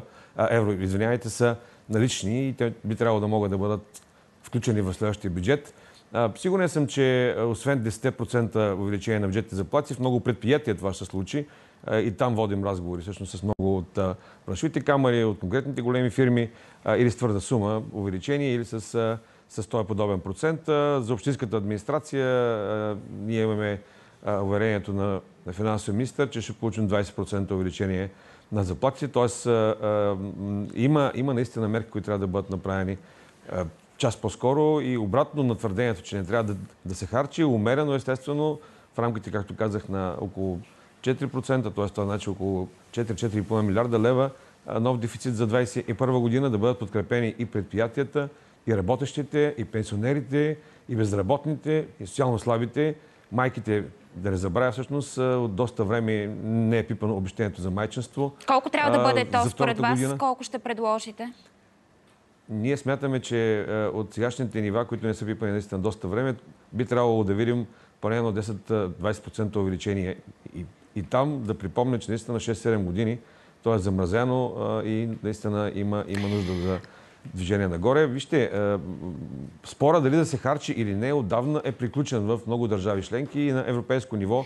Не, то тук дори въпросът не е да се харчи или не, а как се харчи. Аз не случайно го питах за реформи и начина по който се случват нещата, защото, например, за пенсиите, нещото, което притеснява е подобрява ли се начина изобщо на събиране на, на средства, за да има пенсии. Под въпрос ли е пенсионния фонд? Втория стълб как работи? Работи ли изобщо? Защото ще го видим до година как на практика ще се случат нещата. Тези, тези въпроси отдавна са уредени. Някой може би ги е забрал. Има споразумение тристранно, което беше договорено от 2015 година, благодарение на което продължава пенсионната реформа и тя, тя продължава в, и в негативния си план, т.е. това, което хората изстрадват всяка година, увеличава всяка година осигурителния стаж, който се изисква за да стигнете до пенсия и годините всъщност. Така че не знам какво повече искате а, като реформи в а, тая думичка, която много хора вече приемат с а, негативна комутация.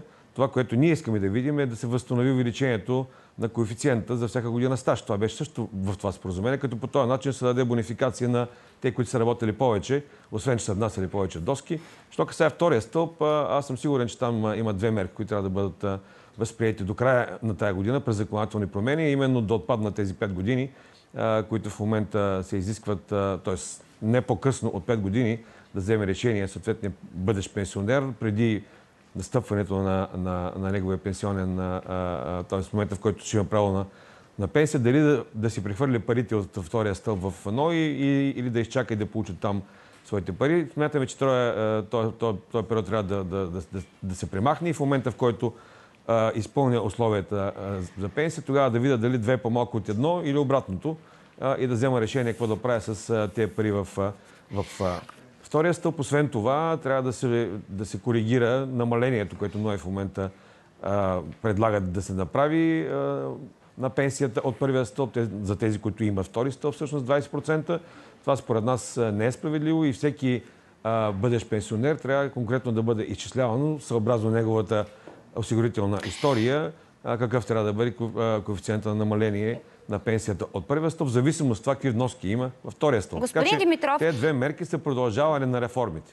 Как гледате как да кажа, и на обвиненията, така ще ги нарека, за това, че управляващите в момента приемат немалка част от всичко, което искате като увеличение в социалната сфера и различни придобивки, защото са в края на мандата, че предизборно се раздават едни пари, всъщност нямат много економическа логика. Не съм сигурен. И аз казах вече, че имат економическа логика, и то желязна. Иначе нямаше Германия да направи дефицит на своя бюджет от 12%. А, а защото сега избори, тези неща не бяха направени като увеличение, а се правят в края на мандата. Вижте, Тогава бяха направени. попитам. Всяка година имаме, имаме движение на доходите напред и не само в а, образованието. Миналата година имахме увеличение с 10%, сега имаме то, също 10% минималната заплата расте с двуцифрено число 4 години, така че това просто не е вярно. А, но да се върнем назад да видим, че последните 4 години всяка година имаше избори. Ако ние чакаме да искаме нещо за хората, за заплатите и за пенсиите година, което няма избори, сигурно ще трябва да чакаме 10 на 20 години. А, до година пак ще има избори, така че това е несериозно според мене. Исканията на хората са в момента и те не се интересуват много дали ще ги даде Бойко Борисов, Иван Драганов или някой друг, който ще бъде премьер на България. Добре. А, в момента Благодаря искат ви. просто увеличение на заплатите и пенсиите си. Благодаря ви много за това включване в сутрешния блок.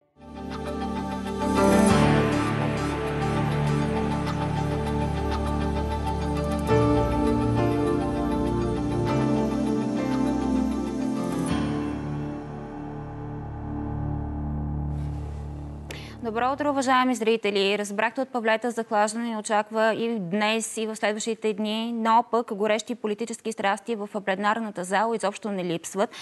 Та вчера, по време на изслушването на главния прокурор Иван Гешев и приемането на доклада му, свързан с работата на прокуратурата през последните месеци и искането на, за оставка на председателя на парламента Цвета Караянчева, искане на БСП и ДПС, Добрият тон понякога беше нарушаван, преминаваха се определени граници, но за всичко, което чухме и не чухме в Народното събрание, за политическите послания извън нея и престрелките в пленарната зала ще говорим в следващите минути с депутатите Явор Божанков от БСП и Александър Ненков от ГЕРБ. Добро утро! Добро утро. Добро, да.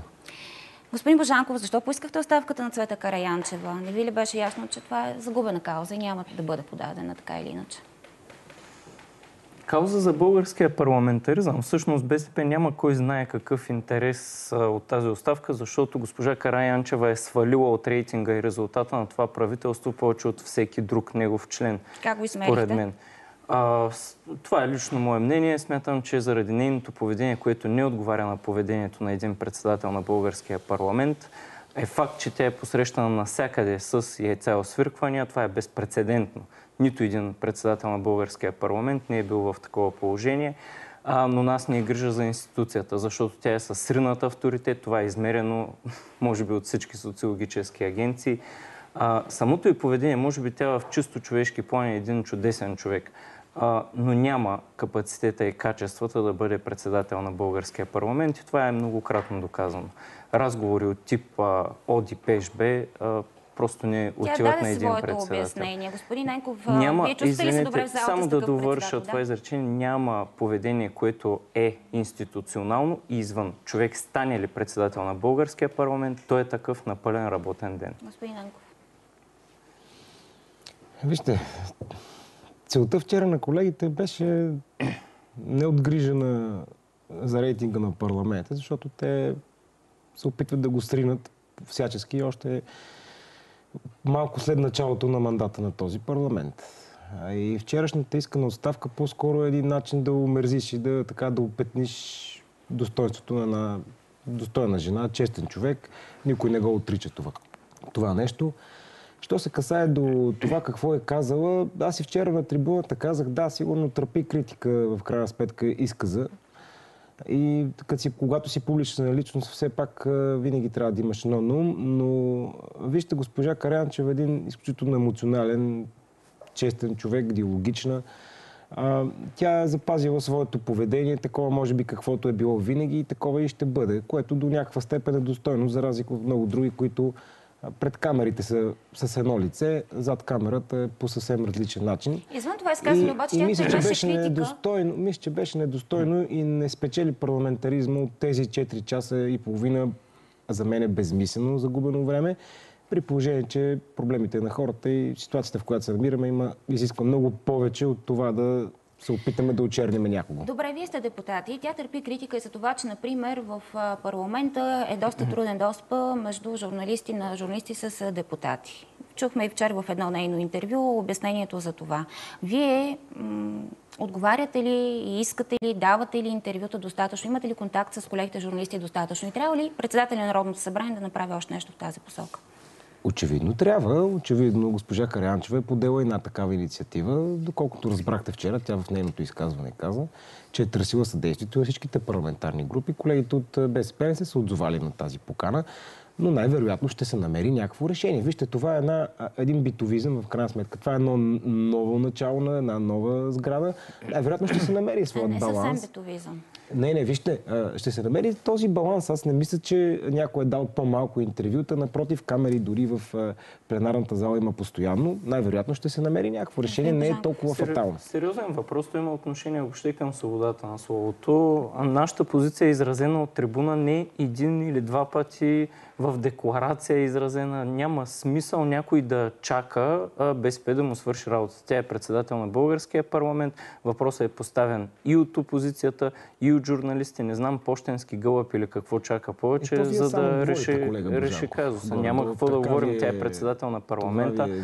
А, оправда се с Пирински, с предишни а, председатели на парламента. Абсолютно нелепо. Може да си го реши въпроса както иска. Очевидно трябва да попита някого, защото не знам дали тя самостоятелно може да взима решение. Не, но понеже вие сам засегнахте темата за рейтинга и доверието, което имат българските граждани спрямо народните представители и институцията на парламента. За този рейтинг и за това ниско доверие само председателя ли има вина според вас? Естествено, извинете, естествено не само председателя. Смятам цялото управление, затова искаме неговата оставка и затова казахме, А че този поведение в пленарната зала няма ли 44-ти също парламент а, е изчерпан. Ами, смятам нашето поведение от... а, извинете, може би от средата на този мандат е абсолютно ясно и в синхрон с исканията на гражданите. Той е за оставка. Този парламент е изчерпан, той няма легитимност, той не трябва да продължава да работи. И това го доказва. Вчерашните събития го доказват. Доклада на главния прокурор, Да, за оставката това на е след госпожа малко. Само, че Караянчева. нека да влезем в конкретика. Дори вчера стана ясно, че се крадат папки. А, стана ясно, че някой си записва нещо на телефона и ако това нещо стигне до BBC, не знам какво ще да се случи. Отива ли на народни представители от опозицията, а и от управляващите да говорят по този начин? Какво казвате на обществото всъщност? А, аз доколкото разбрах, господин Гърневски си е забравил папката. Той е седнал в редиците на БСП, когато бяхме напуснали ли залата да в знак на бойкот. Някой от колегите просто си е тръгнал с тази папка, мислейки се, че това е неговата да папка. Това е недоразумение. Това е което разбрах аз. А, не мисля, че това може да е тема на парламентарния ден, когато имаме Но доклад беше, на главния Ненков, прокурор. беше тема, нали? Не, това е много, А, и когато това е много жалко, което се случва все пак а, говорим за върховенството на закона, над 4 часа дебат. Не, не. Може би е някакъв Вижте, опит вижте. да изместят вниманието, но не смятам, че е сериозно наистина да го обсъждаме. Значи, колега Божанков, моля ви, престанете с тези клишета. Вкарвате ви някакви клишета, идвате по студията, говорите едно и също. Извинявайте, даже ще оставя на страна темата с папката, за да обяснявам, защото мисля, че абсолютно няма полза от това нещо, особено когато се касае за рейтинга на парламент и в крайна сметка каквото Не, има и вътре полза, да си казваме, някой излезе някой на парламентарната трибуна някой път не трябва да се преминава някаква граница. Не, не, не, на вижте, аз няма да вляза в, няма да вляза в това обяснение вчера. Те много добре знаят какво колегите, техните колеги са направили. Оставам го на тяхната съвест. Но когато се грижи за парламента, в крайна сметка, нека да припомниме как и какво е поведението на колегите отляво. Не председателя на Народното събрание определя рейтинга на парламента само и единствено тя. А, в крайна сметка, когато излизаш на трибуната, говориш за убийци, мутри, олигархични кръгове, а, иземат, иземат, иземат, иземат някакси от името на народа да говорят. Ма, как така парламентът е нелегитимен или правителството е нелегитимно? Защо да е нелегитимно? То е избрано по легитимен път. Вижте, до колегите от БСП, аз поне откакто съм в, в политиката, не си спомням те да са поели отговорност за каквото и да било, за една своя дума дори. А в крайна сметка, в крайна сметка все някой на тях им пречи. То не са изборните правила, то дали са машините, Бойко Борисов, Цвета Караянчева, все някой им пречи. Това е стратегия да очерниш другия. Това не е стратегия да бъдеш една конструктивна опозиция. Вижте, в крайна сметка хората са ни поставили... Вижте, има едно изречение.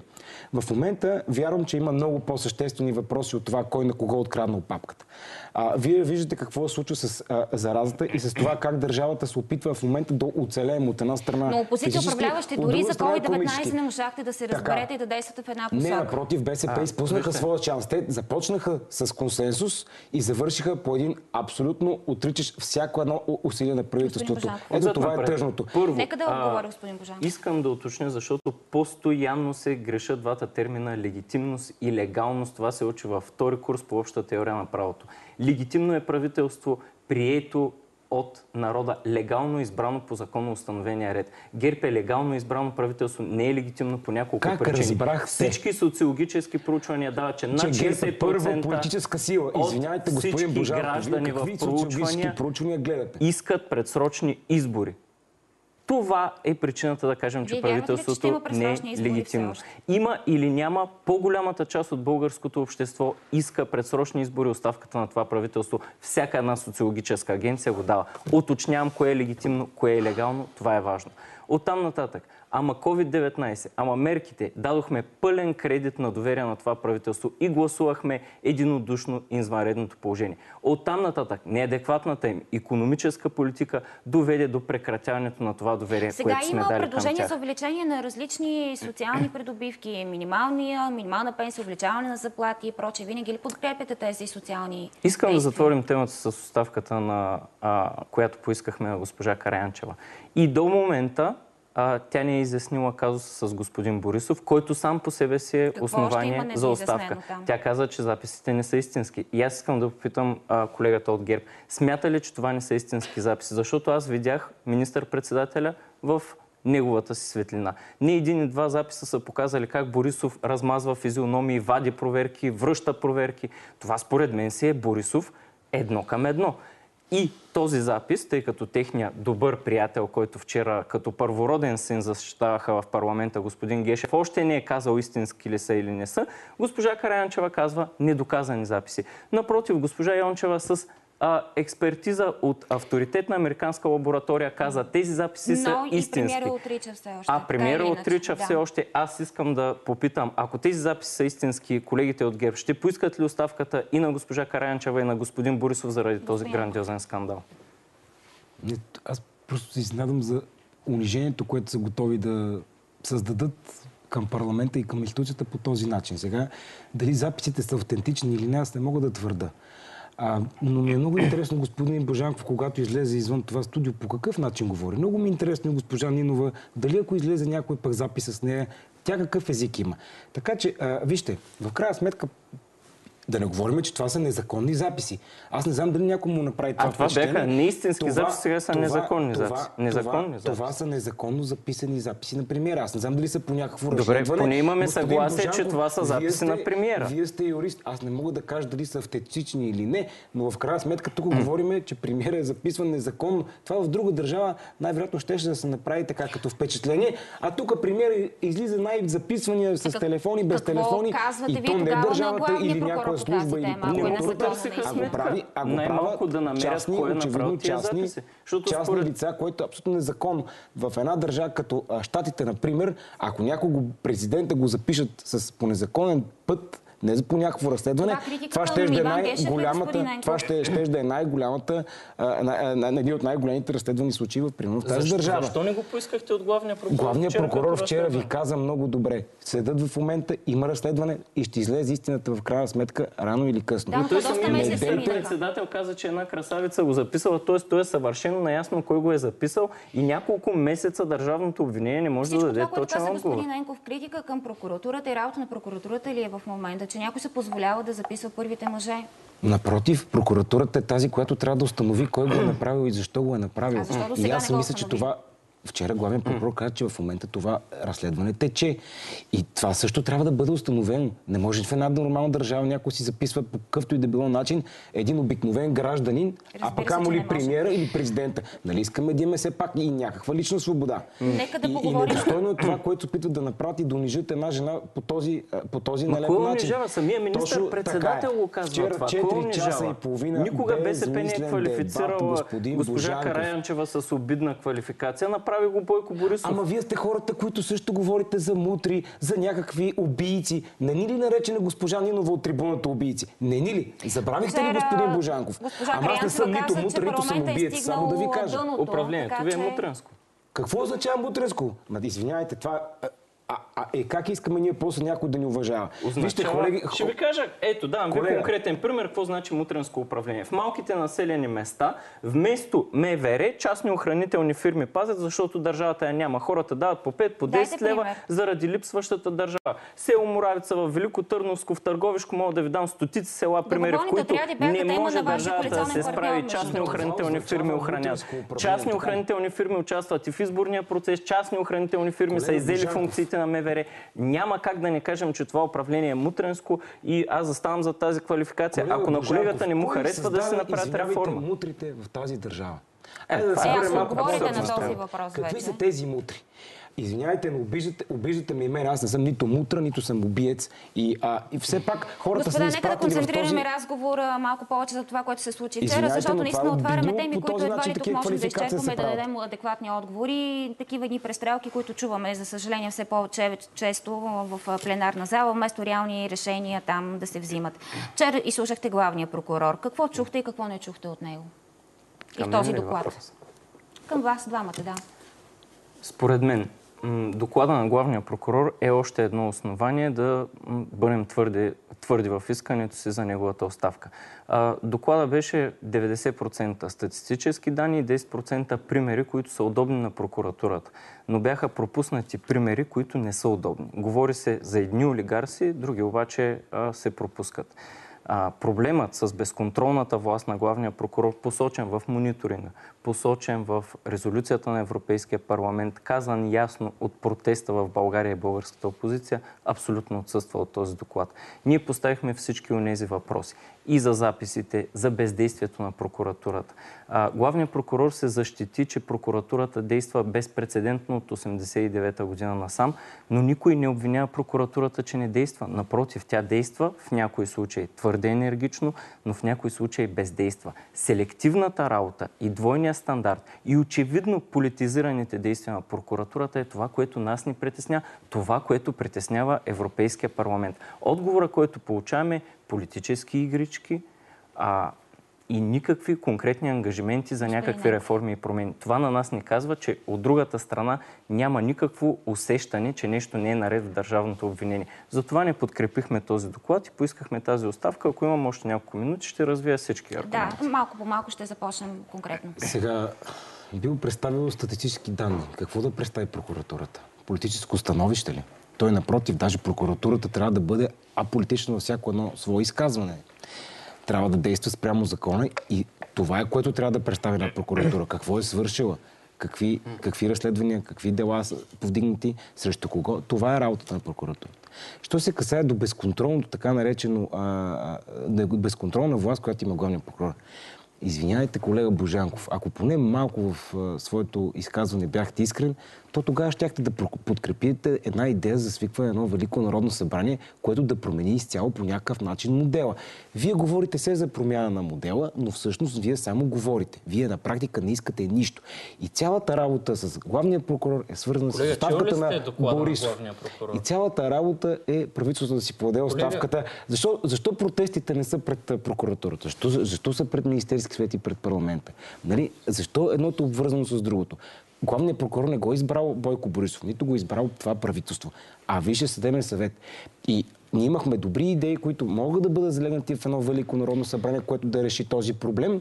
Защо не искате Велико народно колегата- събрание и колегата- но Чел ли колегата е на главния прокурор? Разбира се, съм го чел. Че за- в а, глава специализирано правосъдие нещо направи ли ви впечатление? Аз не съм юрист, няма как да взема Не, отношение в не го е специализирано правосъдие. Аз не, не, Какво пише не в тази глава? И какво Кажете, пише което ви е според вас, което- впечатление. Аз което питам не- как- какво пише в глава специализирано правосъдие? Ма защо трябва да, защо трябва да не обяснявам? Защото съм убеден, че не знаете. Аз не съм юрист, нито съм бил в член на правна комисия, Колегата извинявайте. не е юрист, не е член на правна Аз комисия и вчера- съм убеден, че не е аз чел слушах доклада. вчера Аз много да внимателно какво каза главният прокурор. а, Детайл, глава по глава, колегата не може. Той не е Добре, чел в доклада, аз съм убеден. вие в това. цитирате какво ви направи за- впечатление? за- Защо я казвате като пример? Какво има там? Какво ви Просто се направи на много Поставихме много сериозни въпроси. Знаете ли, че статистически повечето а, организирани престъпни групи, не повечето, но голяма част, които влизат в специализирания съд с такава квалификация, не излизат като такива.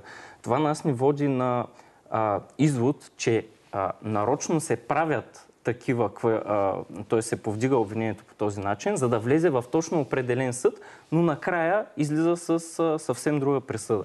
Поставихме всички тези въпроси, Присъдата е- не само за, за решава а, записите. Короба Бадър, международни скандали. Поставихме а, въпросите, които Европейската комисия поставя на комисията. Не можахме да намерим конкретни а, отговори. На всеки наш въпрос се отговаря. Наблюдаващ прокурор, а, Конституцията не позволява. А в същите тези въпроси главният прокурор е отговорил и то доста подробно пред Европейската комисия. Тоест, според нас има едно нежелание да се отговори пред българското Добре, а народно на въпроса събрание. защо не искате Велико народно събрание, промяна на Конституцията, където би било редно да се засегне и темата за правомощията и контрол Тема многократно обсъждана. Как, както и Първо, неговия мандат също така. Първо, а, за да се направят определени про- промени, каквито ние смятаме, че са необходими, не е Велико Народно събрание необходимо. Напротив, това може да стане с обикновено Народно събрание.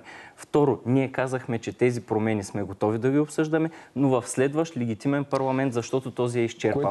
Аргументите са изключително прости. Което Трето, проекта на Конституция, който предложиха ГЕРБ е абсурден от юридическа гледна точка и всички експерти и конституционалисти в България го казаха. Господин Няма да Ненков, причиним на България за Велико и на народно събрание българския и нова конституция конституционализъм малко не се ли позабрави в последно М. време? Нещо друго ли в момента на дневен ред? Искам да, искам да, ето тук днес в това студио ще кажа нещо, което може би след време ще стане ясно. И това е следното нещо. Велико народно събрание, свикване на такова, в следващ мандат, най-вероятно няма скоро да се случи. В следващ парламент. Защото, защото едно Велико народно събрание по неговата логика трябва да свика в края на един мандат. Вижте, ние разбираме, че в момента обществото е разделено. Разбираме, че има хора, които са много против правителството, има и хора обаче, които го подкрепят. Не знам социологията, която гледа господин Божанков, но ГЕРБ все още е първа политическа сила. С малка разлика. Няма значение. Тя е първа. Тя е мандатоносител и тя е първа. А, това с Великото народно събрание и това предложение беше един опит всяка една от страните да излезе с чест и достоинство и да се намери все пак някакво балансирано решение как държавата и обществото да излезе от тази криза. Било то за съдебна реформа, било за други важни неща, ако които биха могли да се вземат. И най-логичният вариант да се случи едно Велико народно събрание в края на един такъв, обик... един такъв на обикновено народно събрание. Няма такова правителство, няма такъв мандат на парламента да започне с Велико народно събрание и малко след като бъде избрано да се саморазпусне, за да предизвика избори за Велико народно събрание. Ето това колегите не го разбраха. И това с модела са едни, както преди малко казах, едни клишета. Нищо повече. Това не са хора, които искат да променят нещо. Те искат и се работят на чисто принципа и само стани да седне. събрание, нали Не, вижте, щом протестиращите още на следващия ден, когато предложи Борисов една такава идея, казаха, ами не, всъщност ние вече не го мислиме това с Великото народно събрание, говори всъщност за истинските мотиви и цел на а, опозицията Истинските най-вече. цел и мотиви на протести на опозицията естествено са оставката на Борисов, а цялото упражнение с Велико народно събрание е операция по закрепянето на Борисов на власт, защото математически 160 гласа за свикването Ама защо не го нямат. подкрепите вие, господин БСП, Божанков? Нали сте- нали сте отговорна партия? заявили, че Велико народно събрание няма 160 гласа да бъде свикано, остава Господин вече Божанков, а, както втория казахме, модел. протеста искаше Велико народно събрание, нали така? Протеста има две основни искания. Оставка на главния прокурор, оставка на министър-председателя. Има и много различни лозунги. И смяна а, на модела. най-различни. Нали, така? Да, Не, не, всички тези клишета, моля ви искам да ми ги а, префразирате, как точно ще извън бъдат парламентарната опозиция са съгласни, че определени промени в Конституцията трябва да бъдат направени, но не от Велико народно събрание. А от кое? Това Господин а, смятам, Божанков, е нали сте юрист? всички. Извинявам Да, се, не знам какъв защото- юрист сте ви. Точно защото съм юрист го Точно, казвам. Точно много е интересно какъв юрист сте и как точно ще намалите, например, мандата на главния прокурор колега, или на първите трима. Посочете ми Обяснете един моля конституционалист в България, който е подкрепил вашия проект за конституция. Вижте, е, това, което е президентът Румен грешното, Радев се даде разбираме. по сега това решение за временната комисия точно по темата за нова конституция, смята, че е противоконституционно. Няма право тя И да прави отново и да прави грешка, промени. защото в крайна сметка тази комисия не е с цел да прави нова конституция. Тя е с цел да изслуша всичките заинтересовани страни, да направи все пак една равносметка и евентуално бъдещо Велико народно събрание би могло да се съобрази. Вижте, Велико народно, реално? Великото народно събрание е това. Ето, юрист в тази комисия, ръководена от госпожа Дислава Танасова, която, извиняйте, съм убеден, че не може да ръководи въобще проект от такъв мащаб. Съжалявам, просто не Извинявайте, може. обаче парламентът все пак е политическият орган. Той може да използва експерти. На него му е вменено да изпълни политическата воля на мнозинството от народните представители. А в крайна сметка Великото народно събрание, това, което пише Конституция. Такова няма да има, Не я просто пише, не знам не защо го пише комисия, не я пише обикновено Народно събрание. Това е проект, който може да бъде абсолютно променен в едно Велико народно Добре, събрание. че Това е истина. преди нас е имало мъдри държавници, които са Аз не знам написали Великото- действащата не знам конституция, която ни конституция дали са е писали, извинявайте, конституционалисти. Нека да Наистина завърши вече съмнявам, този разговор. Продължават протестите под прозорците на Народното събрание с двете основни искания, които вие няколко пъти тук маркирахте. Това означава ли обаче... за нормализиране на ситуацията са двете В най-голямата и вчера криза дебата, оставка на и правителството и липса на Най-голямата криза, предизвикана от Вие самото готови ли сте да управлявате от БСП и то самостоятелно? Смятам, че има достатъчно подготвени а, млади хора, експерти в България, не само в БСП, във всички парламентарни, а и извън парламентарни групи, които са готови да управляват и всеки един ще бъде по-добър управленец от това провалено правителство. В коалиция или самостоятелно? Така както ни подредят хората на избори. В коалиция с кого? Както ни подредят на избори, нямам Е, никаква нали представа какъв ще бъде резултата. ориентирали сте се вече по тях? А, Знаете като как стоят сложим програмите в изборите на масата, с когото има сходства и разсъждава като нас по отношение на здравеопазване, социална политика, образование, ние сме казали какви са нашите позиции. Не може а, здравеопазването да е търговски модел. Не може в съдебната система да имаме безконтролен главен Господин Ненков, прокурор. като говорим за Който е на тези ГЕРБ, готова ли позиции, да ще работим в с него. а, самостоятелен формат или в коалиция? Защото вие сте, казвате, първа политическа сила, но с малко. Да, ГЕРБ ще управлява, ако има тази възможност и хората, ако дадат а, своето доверие. И ние имаме в момента също коалиционни партньори, с които работиме, мисля, достатъчно добре. А виждате ли нови и в- такива? Разбира се, че може да има нови. В крайна сметка, ако когато си първа политическа сила, ти си длъжен да направиш всичко възможно, да намериш компромис. Защото хората сте гласували доверие, те няма да позволят и няма да ти простат. Много е лесно да си втори и да си критичен. Това е много лесно. Но когато си първи, все пак трябва да носиш отговорност. И вижте, едно изречение. Герба в момента носи щета. Защото в момента ситуацията Огромни държавата щети носи на България ГЕРБ, сте наистина по- с това съм съгласен. Вижте, господин Божанков, ако ми посочите нещо позитивно, което управление на БСП е направило от тази държава, не, че ние сме безгрешни. Приемането на България в но аз Европейския мога, съюз. но аз мога да ви дам толкова много примери през последните години, които се направиха хубави неща за държавата. Добре. И ГЕРБ носи По-добре нищо да не в пише правилно, момента, че не може да но го ремонтираме две поколения после. Но носи отговорността Не за това, знам което просто се как случва ще в поправим и момента. ремонтираме това, Благодаря което е направено за тези ви за-. Дай Боже хората да не ви повярват. този коментар. Дебатите продължават. Те са и извън нашето студио, те са и с протестите, а и в пленарната зала, където, между другото, вчера така чухме от главния прокурор да казва, че предстоят интересни времена. Ще видим какви ще са те наистина следващите месеци.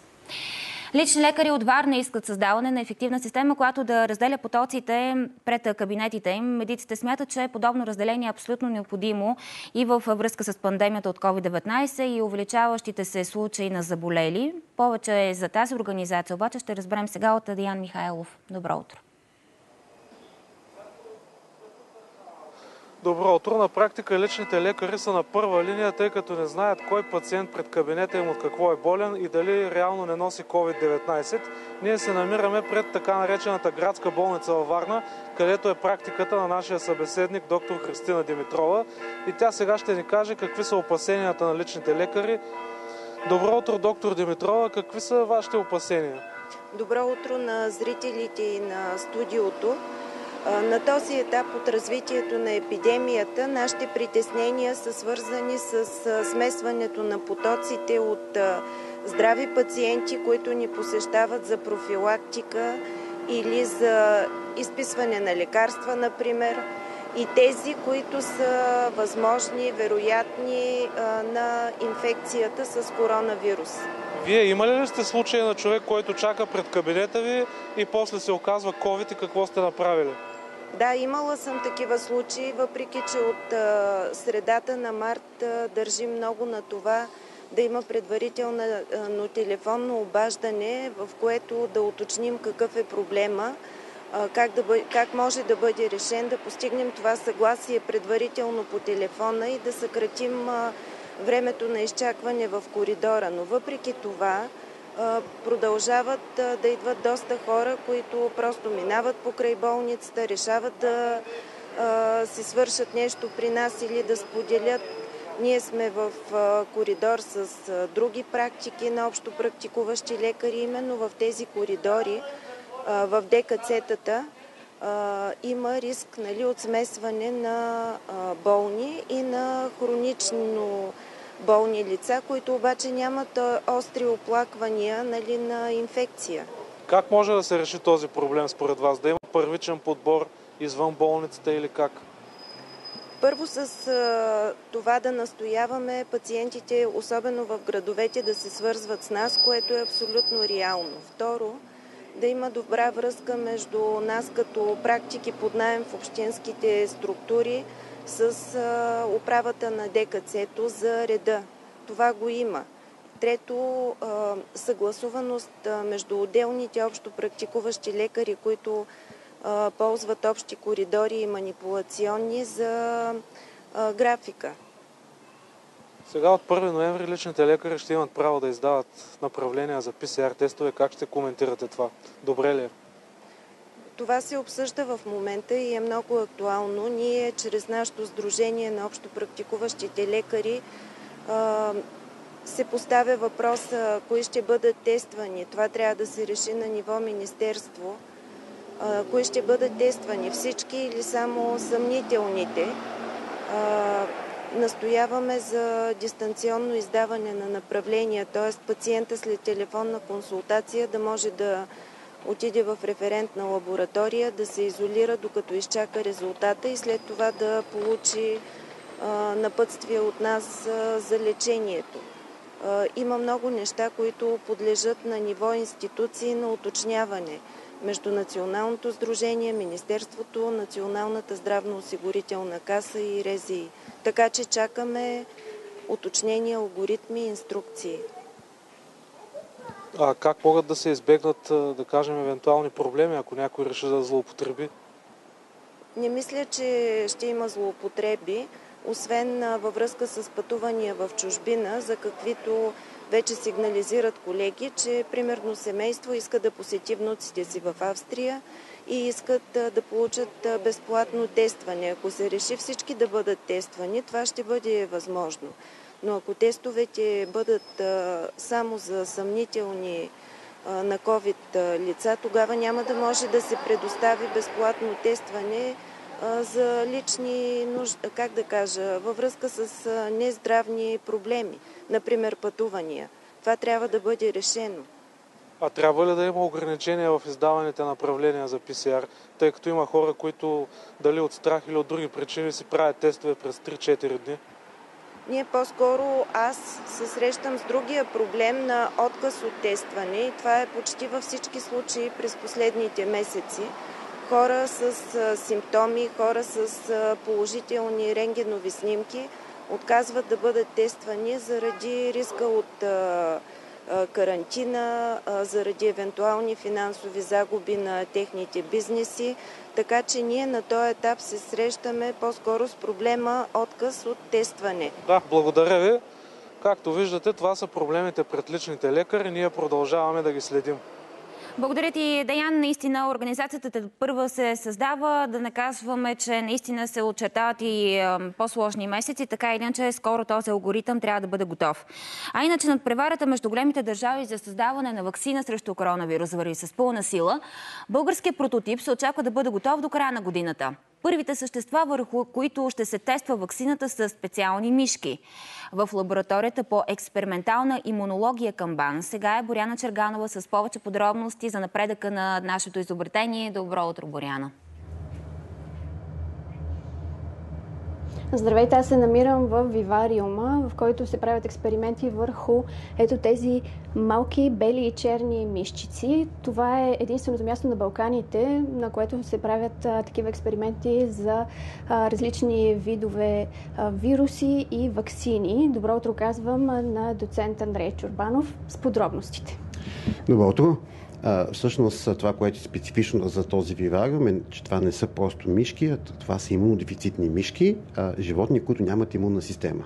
Това позволява прехвърлянето на човешки клетки от а, пациенти или пък доброволци, здрави донори, на които може да се тестват лекарства, които са предназначени за хуманна употреба. Именно това е смисъла преди да се мине директно на, употреб... на тестване върху хора, да се тестват в реални условия, но отново ще кажа, това не е просто мишка в миши условия, а се наблюдава реакцията на човешките клетки и на компоненти на човешката имунна система в един естествен модел, каквато е а, тази мишка.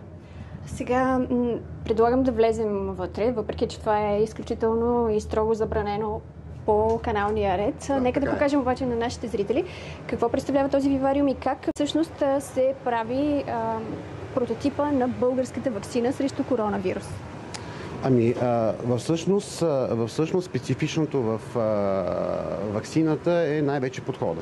Оригиналният подход е нещото, което може да осигури възможност и даденост за а, преборване на, да кажем, тези теоретични специфики, които има всеки вирус. Всяка вакцина за всеки вирус е специфична и не може да се подхожда по един стандартен подход. Това, което представлява нашата вакцина е да вземем компоненти от вируса, които остават обаче консервирани във времето и които не мутират и които се разпознават от имунната система. Тези компоненти се наричат вирусни епитопи. Тези епитопи обаче трябва да бъдат доставени по такъв начин на имунната система, че да се мобилизират всички а, техни компоненти, включително Б и Т клетки. Именно за това те трябва да бъдат събрани в една специална наночастица носител, която да осигури проникването и влизането на тези клетки в имунната система. Да кажем на нашите зрители всъщност това, което виждат в момента, какво е? Така, това е SPF вивариум или иначе казано бариерен тип вивариум, в който въздуха, който има наоколо е, преминал през HEPA филтри. Той е абсолютно стерилен в клас 2, което означава, че въздуха в това помещение е същото, каквото е в ламинарните боксове за стерилна работа, това, което правят навсякъде по света. Животните се работи с тях само при стерилни условия. Всичко, което ползват, храната, водата, материалите, всичко е абсолютно стерилно, за да може да съответно да се осигури безопасността на тези животни. Колко мишленца има тук в този вивариум за проби за коронавирус? Принципно за коронавируса се, ще използваме един специфичен субтип от тези мишки. Тук има в момента 9 различни вида, плюс няколко имунодефицитни от друга степен. Но тези, за които става дума, се наричат NGS или Notskit гама дефицитни мишки. Това са мишки, които нямат Б клетки, нямат Т клетки и нямат НК клетки. Това са основните компоненти на имунната система, които реагират срещу всичко, което ни свърза с околния свят. Така че от тях в момента ние подготвяме количеството, което ни е необходимо за съответните анализи. А на какъв етап е всъщност самата вакцина, след като се създаде прототипа в края на годината? Какво следва от тук нататък? Сглобяването е, ще бъде най-бързият край. В момента всъщност се изработват компонентите на вакцината. Епитопите ще бъдат направени в Дания. Частиците, които ще използваме за носители на тези епитопи са от Великобритания.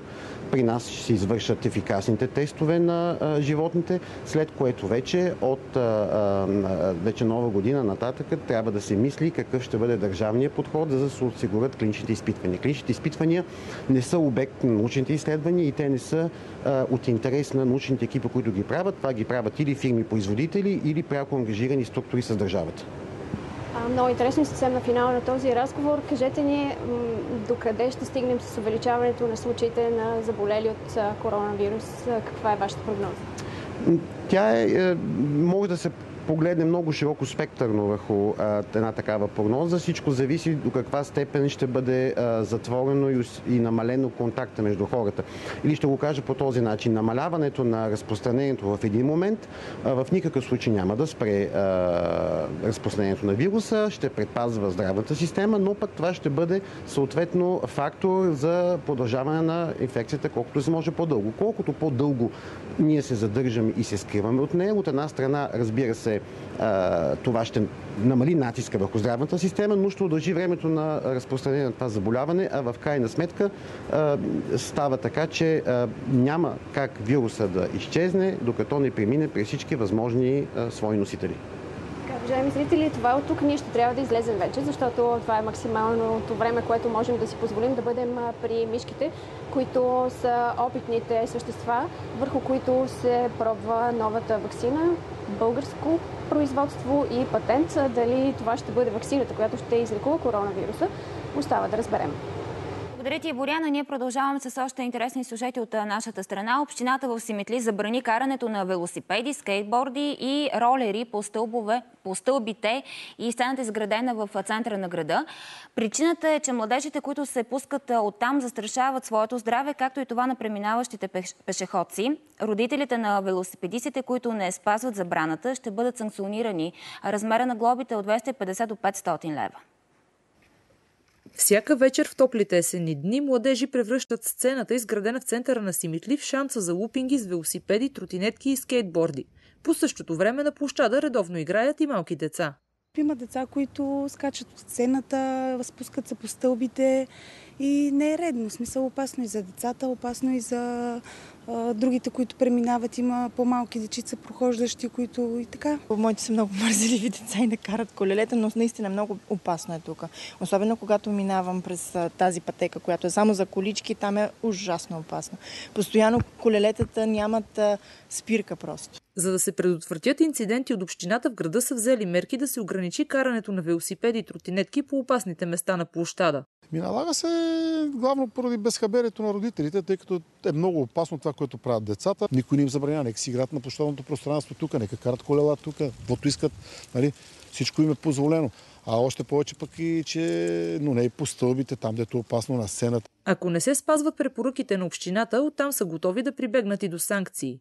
В момента вече сме преговорили нещата с полицията, с органите на реда и заедно с тях, с пазачите, при които, на общината, при които се така, монитора с дето се отчитат камерите, я съобщават на полицията и най-вероятно в най-скоро време ще има доста солени глоби към някои от родителите. Само на километър от площада в Симитли има изградена специална колописта и рампа, които са обезопасени и пригодени за малките велосипедисти, казах още от общинското ръководство. Много социални предприятия в помощ на хора с увреждания срещат трудности да оцеляват в кризата около COVID-епидемията. Затова ежегодният конкурс за най-добър бизнес план на социални предприятия, в който БНТ е медиен партньор, се преформатира като оздравителна програма, която да помогне за оцеляването им. Самия конкурс от край време е форум, на който социалните предприятия в България си дава среща и обменят идеи съвсем буквално. Церемонията по награждаването се случва по времето на базар, в който предприятията показват продукцията си. Нещо, което заради COVID мерките сега не се получи, но пък наложи три други мини церемонии. Камерата ни присъства на една от тях във Варна, където Сдружението няма невъзможни неща, помага на младежи с увреждания да работят. И... Вижте. Въобще не им е цел да доказват, че няма невъзможни неща, но на практика все това правят. Младежите с увреждани и техните семейства цял живот само това чуват, как не могат да правят това или онова. Но вече година и половина им се получава напук. Известни са най-вече с щанда си за фреш сокове и невероятния хъс в очите на служителите си. Само суперлативи мога да кажа за него. Много отговорен. Позитивни неща. Позитивни, да, суперлативи. Означава много позитивни неща. Плодови салати продаваме. Продаваме също градинка в чашка. С голяма радост идва в Сдружение Няма невъзможни неща. Това му се отразява много добре и в къщи. Той с голямо желание се включва в домакинската работа, обича в кухнята да режи. Виждаме голяма промяна в него. Освен това, Сдружението успява да се наложи и с дребни печетарски услуги. Колкото часове съм ангажирана, те са изпълнени с много а, чувство за, лично, за изпълнен дълг, чувство, че съм полезна. А Русица дори от малкото тук успява да завърши висше образование и въпреки уменията и в приложната лингвистика, тя не успява да си намери работа. Кандидатствала съм на много места, но така и не ми връщат обаждане. Нали, дори един имейл не се сещат да пратят, нали, да кажат, съжаляваме, ама не можем да бъдем на работа. Работата в социалното предприятие променя живота на младежите, дава им нови сили, вади неподозирани умения. И за да не изгубят всичко постигнато до тук заради COVID-кризата, проучили, анализирали и преценили, че биха били успешни, ако разработят кухня за обяд на корпоративни клиенти. Тази кухня е нещо, което е плод на усилията на екипа и на, бих казал и на младежите последните 2-3 години. И планът им има всички шансове да проработи. Вие сте какво? Един от наградените. Това е. Освен подкрепата за добро начало, получиха и от коража на младежите от чудната градина в Добрич. И те вече три години доказват, че няма невъзможни неща. Продължаваме темата сега с разговор в студиото. Тук са Павлета Алексева, програмен директор на Български център за нестопанско право. Добро утро. Добро утро. И Иво Босев от Фундация Америка за България, един от донорите, които традиционно подкрепят социалните предприятия у нас. Здравейте! Здравейте! Много вдъхновяваща история. Тя е една от многото, които сме и разказвали, но придобили и нов смисъл, ново звучение социалното предприятие в България по време на COVID. А, това, което така, кризата, за съжаление, трябваше да изпаднем в, в, криза, за да а, можем да видим потенциал на социалните предприятия, именно, че те доказаха, че са готови и имат потенциала да помагат на хората в трудна ситуация. Истината е, че кризата промени не само економическата среда, и техните предприемачески идеи трябваше да бъдат адаптирани към един нов начин на предлагане, ако щете, и на продуктите им. Но а, така обостри много социални нужди, които преди това си ги а, знаехме и имахме а, в нашето общество, но сега с още по-голяма степен ги показа, а и а, така се появиха нови социални нужди. И по време на, на когато бяха най-големите ограничения всъщност в страната, именно гражданските организации, техните социални предприятия бяха а, тези, които адресираха нуждите на хората, на най-уязвимата част от нашето общество по един доста така подкрепещ и адекватен начин. Защо е важно да имаме силни социални предприятия, да има изобщо такива идеи, неправителствения сектор да е активен? Позволете ми да започна с това, че Фундация Америка за България вече 10 години подкрепя Българския център за нестопанско право. Ние сме горд дарител на центъра и заедно работим за един по-успешен и по-ефективен граждански сектор. А, историите на тези организации са винаги страшно вдъхновяващи, защото те показват, че България, въпреки трудностите, а все още има хора, които си поставят високи цели, на, на пръв поглед страшно трудни задачи, но с много работа, с много усърдие успяват да постигнат прекрасни резултати, както видяхме. И мисля, че това е един от а, големите уроци, които научихме по време на COVID-кризата, а именно за огромната добавена стойност на гражданските организации за нашето общество. Помните първите дни в началото на пандемията, когато хората бяха оплашени, когато всичко беше затворено, именно гражданските организации, наред с представителите на публичните институции и лекарите, бяха на първа линия а, в а, малки населени места, за да помогнат на хора в нужда да им предоставят достъп до храна, достъп до маски, дезинфектанти. Много от организациите в сферата на образованието предоставиха своите ресурси и своите решения на учители и ученици, така че те да преминат по-леко през кризата. Бих искал да спомена и Български дарителски форум, който с много усилия успя да обедини желанието на корпоративните дарители да подкрепят пък те от своя страна тези организации. А, сещам се и за Българска хранителна банка, която в най-трудните моменти продължи да спасява храна и да я разпределя на хора в нужда.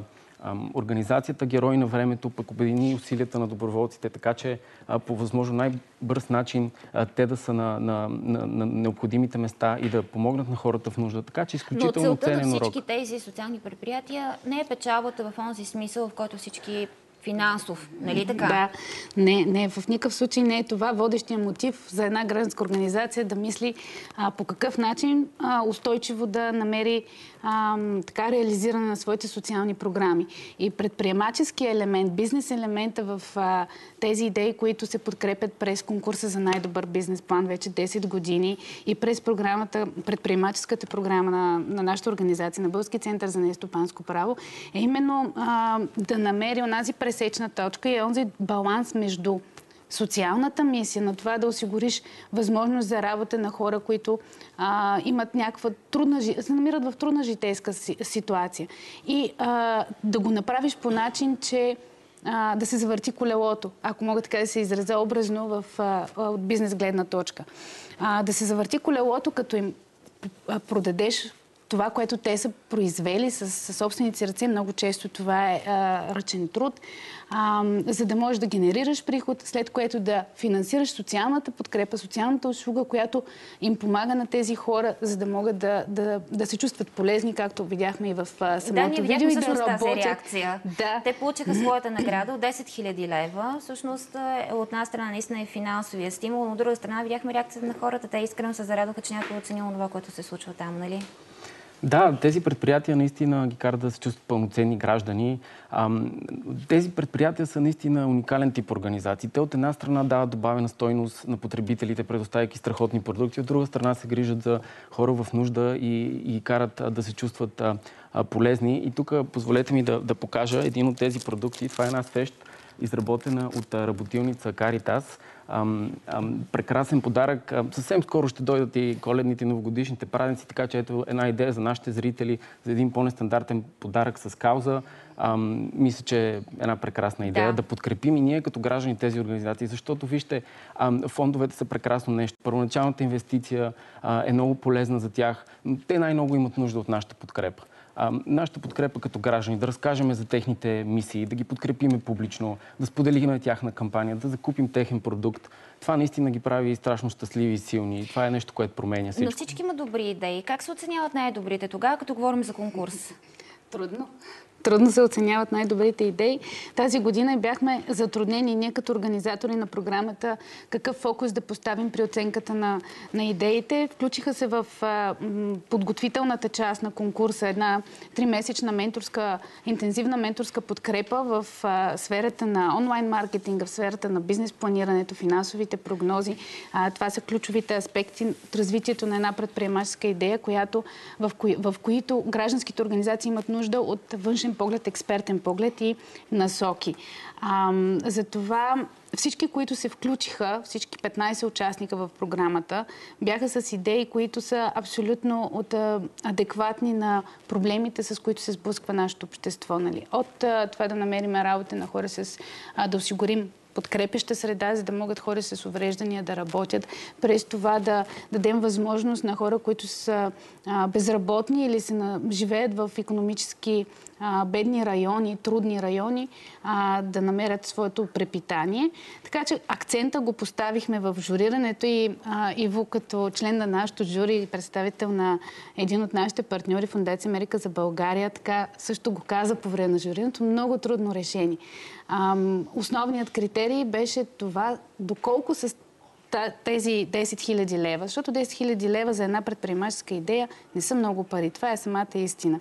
А, те, те, те ще бъдат оползотворени заедно с други привлечени средства от самите организации. Доколко тези 10 000 лева ще помогнат на организациите да минат на, една, на един следващ етап в своето си развитие на предприемаческата и идея. И не само. Убеждаване на обществото, това, което казахте, господин Босев. Последно изречение от вас. Крайна сметка, наистина всички можем да се включим в тази кауза по един или друг начин. От нали? нас зависи, да, подкрепете социалните предприятия и гражданския сектор. Много ви благодаря за този разговор. И да, добра идея, уважаеми зрители, за предстоящите празници. Ето, видяхте, може би и картички скоро ще видим, така че поинтересувайте се. Може би наистина ще зарадвате някой с един такъв подарък. А сега какво ще видим в петък в 100% будни? Какво са ни приготвили днес в предаването а, Стефан и Мария? Веднага след новите в 9 ще разберем сега. Здравейте! Здравей, Христо! Здравей, добро утро! А, веднага искам само да направим един преход към нашата маса. Ще ви покажем нещо, което е наистина уникално. Това са чертежите на първия български и за сега единствен цирк. Ще гостуват, ще си говорим за историята зад построяването на Софийския държавен цирк и трудът на страшно много хора, на създателя му най-вече архитект Ярослав Станков. Точно така. А, разбира се, тук ще има на живо фестивал за улични огнени изкуства. Ще превземат тук студиото на 100% будни. Ще стане много горещо и много светло, както се Ще казва. изиграем една компютърна игра на живо. Тя се казва Сталкер и ще имаме и уроци, разбира се, по градско А, градинарство. не само уроци по градско градинарство, а е по пияно, защото при нас ще бъде Мария Каракушева. А всъщност тя твърди, че да, не всеки може да стане виртуоз на пияното, но пък всеки може да се научи и ние с Стефан ще вземем кратки уроци по пияно. Да. Това е Добре, нас. ще чуем с най-голямо удоволствие вашите музикални умения. Те не са малки, знаем. Благодаря ви много, уважаеми зрители, че бяхме заедно в изминалите 3 часа. Хубави събота и неделя. До понеделник, точно в 6.